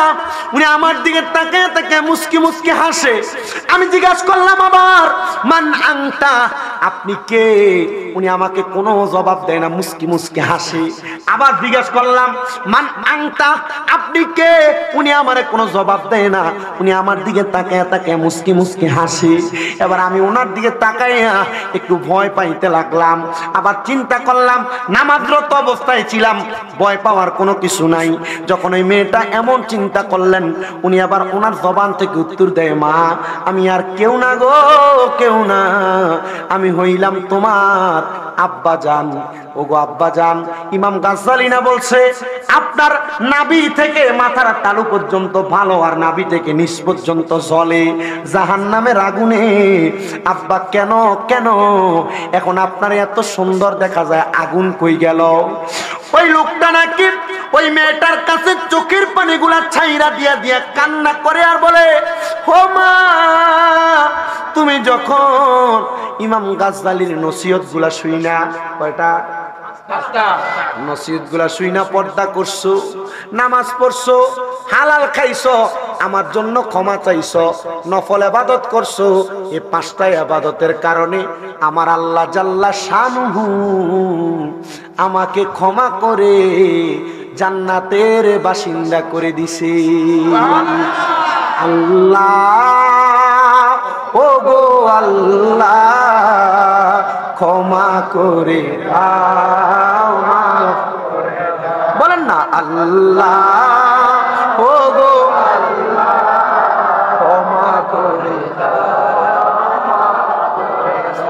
কাছে মাপ প্রার্থনা করেন, ক্ষমা প্রার্থনা করেন। আল্লাহ তালা সবচাইতে দুনিয়াতে ওই বান্দারে পছন্দ করে, যে বান্দা আল্লাহর কাছে বেশি ক্ষমা প্রার্থনা করে আর তওবা করে। তো একটু মোহাব্বতে পড়েন না, ডাক দেন। আল্লাহ, ও গো, ক্ষমা করে দাও, ক্ষমা করে তোমাকে না দেখিয়া, তোমাকে না চিনিয়া ইমান এনেছি তবু। আল্লাহকে দেখছেন? পরিচয়? এটার নাম ইমান এটার নাম কি? তোমাকে না চিনিয়া, তোমাকে না দেখিয়া ইমান এনেছি তবু ইমান এনেছি তবু সেই ওসিলাই রহমত, দয়া বিলাও। সেই ওসিলাই রহমত, দয়া বিলাও। ক্ষমা করে দাও মাফ। ও বলেন ক্ষমা। হে মাইকওয়ালা সাইম মাইক। সিটাঙ্গে আইসা এ তোমরা মাইক দিয়ে ওয়াশ করে দুই বছর মজা পাইতেছে আলহামদুলিল্লাহ। এমন মজা অন্য কোথাও পাই নাই। শুক্রিয়া তোমাদের সার্ভিসের জন্য। আল্লাহ এ সাইম মাইকের ব্যবসায় বরকত দিক। আমিন। পড়েন। এ, আমি অন্য মাইকল আর খারাপ বলি না অন্যরাও ভালো কিন্তু তোমাদের সার্ভিসের মানে সাউন্ড কানে ধরে ভালো লাগে আমার কাছে। কষ্ট হইতেছে না আমার মনে হইতেছে আরও ওয়াজ করলে অসুবিধা নাই। রাজি আছেন ইনশাল্লাহ আমার হুজুর বলছে আজকের মাহফিলে সাদিকুর রহমান হাসিমি হুজুর আসবে বারোটায় বেশি পঁচিশ আধা ঘণ্টা বেশি। আরও আধা ঘণ্টা যদি হয় অসুবিধা হবে নাকি? আসুন তো ইনশাল্লাহ জিকির আজকার চলবে তো ইনশাল্লাহ আরও এক ঘণ্টা দেড় ঘণ্টা। আরে মুরব্বী নতুন। কয় ঘণ্টা। হ্যাঁ? হ্যাঁ সাথী চিন্তা করছেন? এই জন্যই তো মুস্তাক ফজি সব দিছে মুরব্বীর মজা লাগেনি? আপনারা আসেননি বিরিয়ানির ফোটলা বেশি বেশি করে দিও তোমরা। ইনশাআল্লাহ। কি বলেন আপনারা? আল্লাহ যেন কবুল করে আমিন বলেন। তাহলে আমরা একটু নাত্র আল্লাহর হামদে বাড়ি তালাটা একটু জুড়ে পড়ি। পড়েন আল্লাহ ও গো ক্ষমা করে। মাফ আও ক্ষমা করে। যতদিনে জীবন বিনা বাঁচিবে বলেন যতদিন এই জীবন বিনা বাঁচিবে। সুপথে চালাও, মাফ দাও, ক্ষমা করে দাও। দাও আল্লাহ ও গো ক্ষমা করে দাও, মাফ দাও, ক্ষমা করে এর সত্যগরের যুবকের দল মুরব্বী বাবা পর্দার অন্তরালের মা। মনোযোগ দিয়া শুনো। ওই মেয়ে বলে, আমি দেখলাম আমার আব্বা জান আমারে বলতেছে, আমি মাইয়া দোয়া করার কারণে, নামাজ পড়ার কারণে, পর্দা করার কারণে, তওবা করার কারণে, নফল ইবাদত করার কারণে, আমার আল্লাহ তাআলা, আমি আম্মা- আমার আব্বা জানের কবরটাকে নাজাত করে দিছে। এবার জানতে চাই, ও আমার এরশাদ নগরের বাবারা, আপনারা যদি আপনাদের মায়ের জন্য, বাবার জন্য প্রাণটা বইরা মনটা বইরা দোয়া করেন, আমার আল্লাহ এই দোয়ার বরকতে আম্মা আব্বার কবর না হাতের ফয়সালা করতে পারে কি পারে না? আমি জানি না রে। আজকের মাহফিলে কোন সন্তান জানি তাদের আব্বারে হারাইয়া বসছে। আমি জানি না রে, কোন সন্তান জানি তাদের মারে হারাইয়া বসছে। ওই সন্তানদের কাছে যদি একবার তুমি প্রশ্ন করো, সন্তানের কলিজাটা ছিঁড়ে যাবে। সন্তানদের জিজ্ঞাসা করো, এই সন্তান, সবার তো বাড়িতে মা আছে, সবার তো বাড়িতে আব্বা আছে, তোমার মা যে, তোমার আব্বা যে, অন্ধকার কবরে তোমার কেমন লাগে? ওই সন্তান বলবে, হুজুর, আমার কেমন লাগবে? আম্মা কবরে, আব্বা কবরে, আম্মা বাহারা এতিম সন্তান তো ভালো থাকতে পারে না। ও বন্ধুরে, একটা সন্তান যখন তার মা হারায়, একটা সন্তান যখন তার বাবা হারায়, ওই সন্তানটা বুঝে তার মা বাবা হারা বেদনা কত। আপনারা হয়তো সোশ্যাল মিডিয়ার মাধ্যমে অনেকে দেখেছেন, আমার মাদ্রাসার একটা তলে বুলালাম ছাত্রের মা মারা গেছে কয়েকদিন আগে। ওই ছেলেটার মা মারা যাওয়ার সর্বনিম্ন দেড় বছর থেকে দুই বছর আগে ওই ছেলেটাকে আমার হাতে তুইলা দিয়া বলছে, হুজুর, আমার সন্তানটা আপনার হাতের মধ্যে তুলে দিলাম। আমার সন্তানটাকে আল্লাহর কোরআন, রসুলের পাকের হাদিস তো শিখাইবেনি। হুজুর, আপনি আমার সন্তানটাকে আপনি জানাজার নামাজটা পড়ানো শিখিয়ে দিয়েন। আমি ওনাকে জিজ্ঞাসা করছিলাম হে মা, আপনি কেন আপনার সন্তানটাকে জানাজার নামাজটা শিখানোর কথাটা আমারে বললেন? ওই মহিলা নিজে বলতেছে, হুজুর, আমি আপনার একটা ওয়াদের মধ্যে শুনেছি।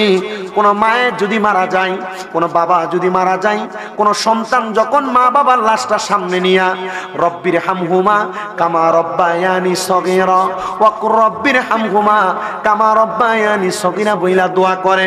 হুজুর,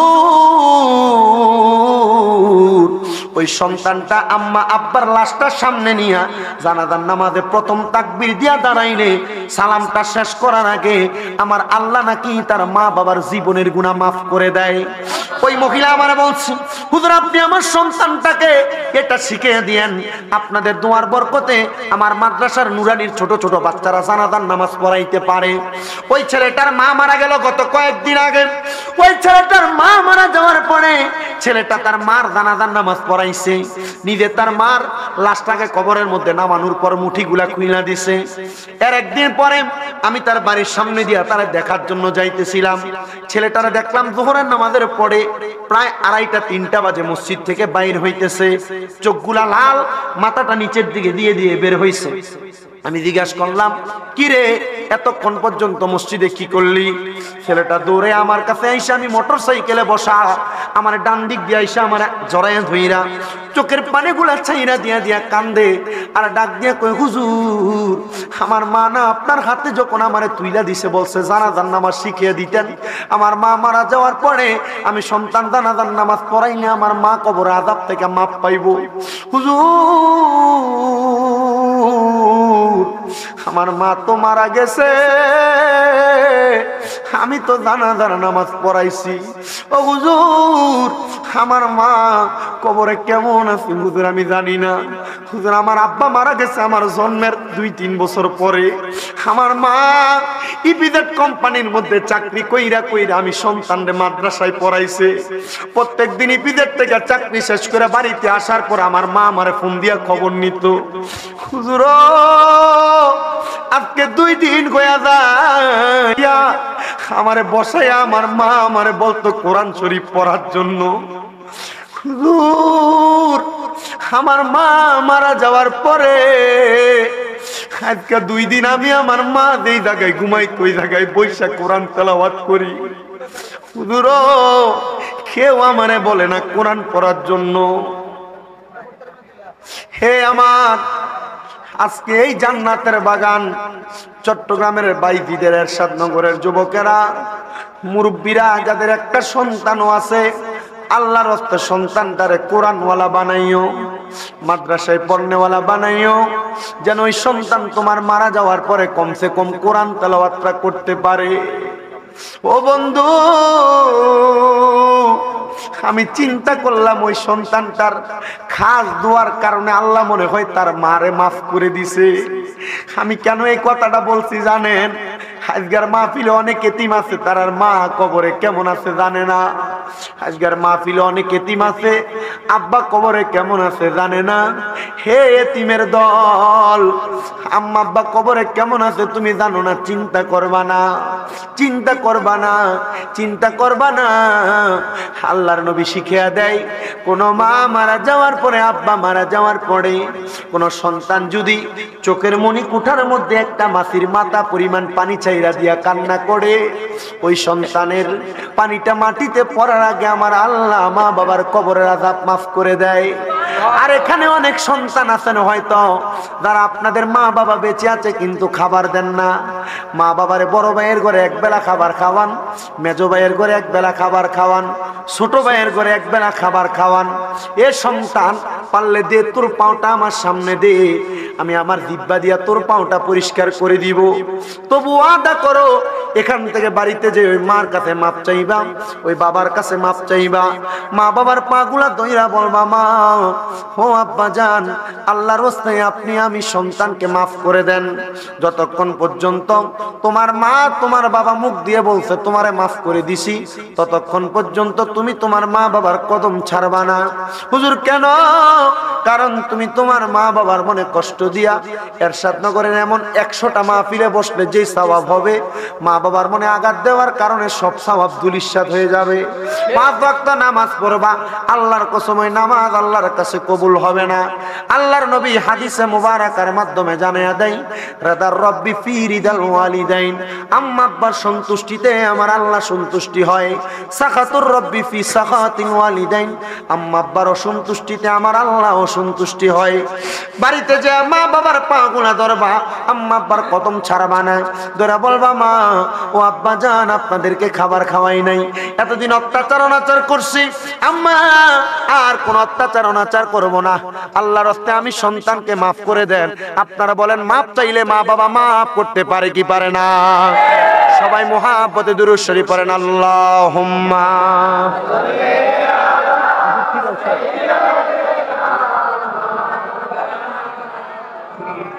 Thank you.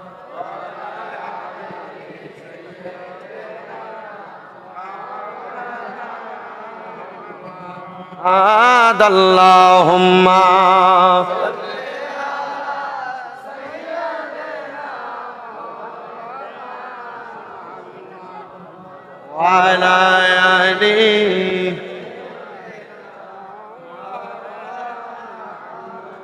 তোমরা কোনো দিনও মায়েরই মনেতে কষ্ট দিও না।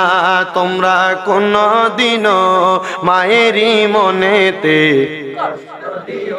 ওরে মায়ের মনে কষ্ট দিলে খোদা তো পাবি না বলেন, মায়ের মনে কষ্ট দিলে খোদা তো সহে না। তোমরা কোনো দিনও মায়েরই মনেতে কষ্ট দিও না। তোমরা কোনো দিনও মায়েরই কত পাপি আছে যে মাকে কষ্ট দেয়। মায়ের মনে কষ্ট দিয়ে অভিশাপ নেই বলেন। কত পাপি আছে যে মাকে কষ্ট দেয়। মায়ের মনে কষ্ট দিয়ে অভিশাপ নেয়। হায়রে মায়ের মনে কষ্ট দিলে খোদা তো পাবি না বলেন। মায়ের মনে কষ্ট দিলে খোদা তো পাবি না তোমরা কোনো দিনও মায়েরই মনেতে কষ্ট না, তোমরা কোনো দিনও মায়েরই মনেতে আঘাত। এ যুবক, মুরব্বী বাবাজিরা গো অনেকে চিন্তা করে, হুজুর, যাদের বাড়িতে বাবা আছে, তারা বাড়িতে যে বাবার পায়ের মধ্যে ধরে মাপ চাইবে। হুজুর, যাদের বাড়িতে মা আছে, তারা বাড়িতে যে মার পায়ে ধরে মাপ চাইবে। হুজুর, আমার তো মা নাই আমার তো আব্বা নাই। আমি বাড়িতে যাইয়া কার পায়ের মধ্যে ধরে মাপ চাইব? সন্তান রে, আম্মাই, আব্বা যদি কবরে থাকে, আম্মা, আব্বার কবরের সামনে যাইয়া খাস করে করে দোয়া করবা। আল্লাহর নবী শিখে দেয় রে, কোন সন্তান যখন তার মায়ের জন্য দোয়া করে, আব্বার জন্য দোয়া করে, ওই সন্তানের দোয়ার বরকতে আমার আল্লাহ তার মা বাবারে মাফ করে দেয়। হে এরশাদ নগরের যুবক, এরশাদ নগরের মুরব্বী বাবারা আল্লাহর দোহাই লাগে। তোমার আম্মা আব্বার কষ্টের কথা হয়তো তুমি ভুলে গেছো। ঈদের দিনে তোমার আব্বা জান দামি কোনো জামা কাপড় পরতো না। তোমার আব্বা জান তুমি সন্তানরা দামি জামা কাপড় কিনা দিত। আব্বা জান পুরান লুঙ্গিটা, পুরান পাঞ্জাবিটা পইরা ঈদের নামাজে যাইতো। যদি প্রশ্ন করতো, আব্বা জান, আপনি দি নতুন জামা কাপড় পরেন নাই? আব্বা আব্বার অভাবের কথা সন্তানকে বলতো না। বলতো, এখন কি আমাদের আর ঈদের বয়স আছে নাকি?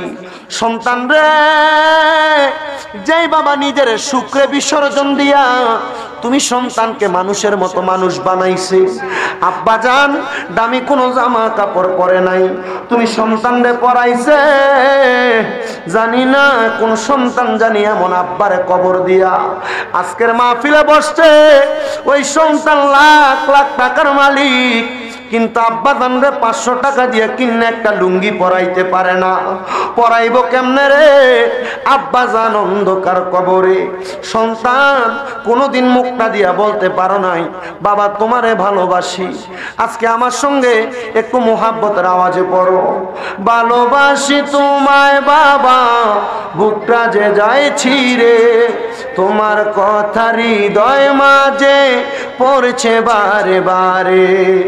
ভালোবাসি তোমায় বাবা, বুকটা যে যাইছি রে তোমার কথা হৃদয় মাঝে পড়ছে বারে বারে। বাবা গো, বাবা বাবা গো, বাবা বাবা গো, বাবা বাবা গো। বাবা, তুমি কেমন আছো? ছোট মাটির ঘরে তোমার কথা হৃদয় মাঝে পড়ছে বারে বারে। বাবা, তুমি কেমন আছো? ছোট মাটির ঘরে তোমার কথা হৃদয় মাঝে পড়ছে বারে বারে। বাবা গো, বাবা। বাবা গো, বাবা, এ সন্তান। আব্বা বুঝি কবরে, এখন বাবার কথা মনে কইরা কইরা চোখের পানি গুলা বায়া বায়া পড়ে। আগে আব্বার কাছে পাঁচ, দশ টাকা ছায়া নিতাম। কিন্তু এখন তোমার চোখের সামনে কত দাড়ি পাকা। বয়স্ক মানুষরা দোকানে বৈশা চা খায়।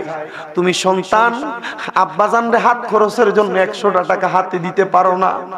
সন্তান, মায়া লাগে না রে, মায়া লাগে না। মায়া লাগে না রে, মায়া লাগে না। আরে অনেকের আম্মা বেঁচে আছে, বাড়িতে যে আম্মাটার কাছে আমার আব্বা চলে গেছে, আপনার দিকে তাকে আমি আমার আব্বার কথা বুইলা রইছি গো, মা। আপনি যদি মারা যান, আমি সন্তান এতিম হইয়া দামু। মা গো, মা, আপনি চলে গেলে আমি সন্তান সহ্য করতে পারব না। আমি কেমনে দিব ওই দুঃখিনী মায়েরে দাফন? আমি কেমনে দিব ওই দুঃখিনী মায়েরে দাফন? যেই দুঃখিনী মা হায় রে আমায় করেছে না দোর করেছে না দোর আমি কেমনে দিব ওই দুঃখিনী মায়েরে দাফন আমি কেমনে দিব? ওই দুঃখিনী মায়েরে দাফন। আল্লাহ, যাদের মা বাবা কবরে, প্রত্যেকের আম্মায় আব্বার কবর জান্নাতের বাগান বানায়া দাও। যাদের মা বাবা বেঁচে আছে, হায়াতে তৈও বা নসিব করে দাও। আল্লাহ, যাদের আম্মা আব্বা বেঁচে আছে, আম্মা আব্বার খেদমত করার তৌফিক দান করে দাও। অনেকের আম্মা আব্বা অসুস্থ, শেফা দান করে দাও। বিশেষ করে সুমন মিয়ার বাবা সাবের সাহেব আদ রাত এগারোটার সময় ইন্তেকাল করেছে, ওনাকে নাজাতের ফয়সালা করো। আমি এতটুক বয়ান যা করেছি, তার উপর ইনশাআল্লাহ আমলে জিন্দিগিতে বাস্তবায়ন করবেন।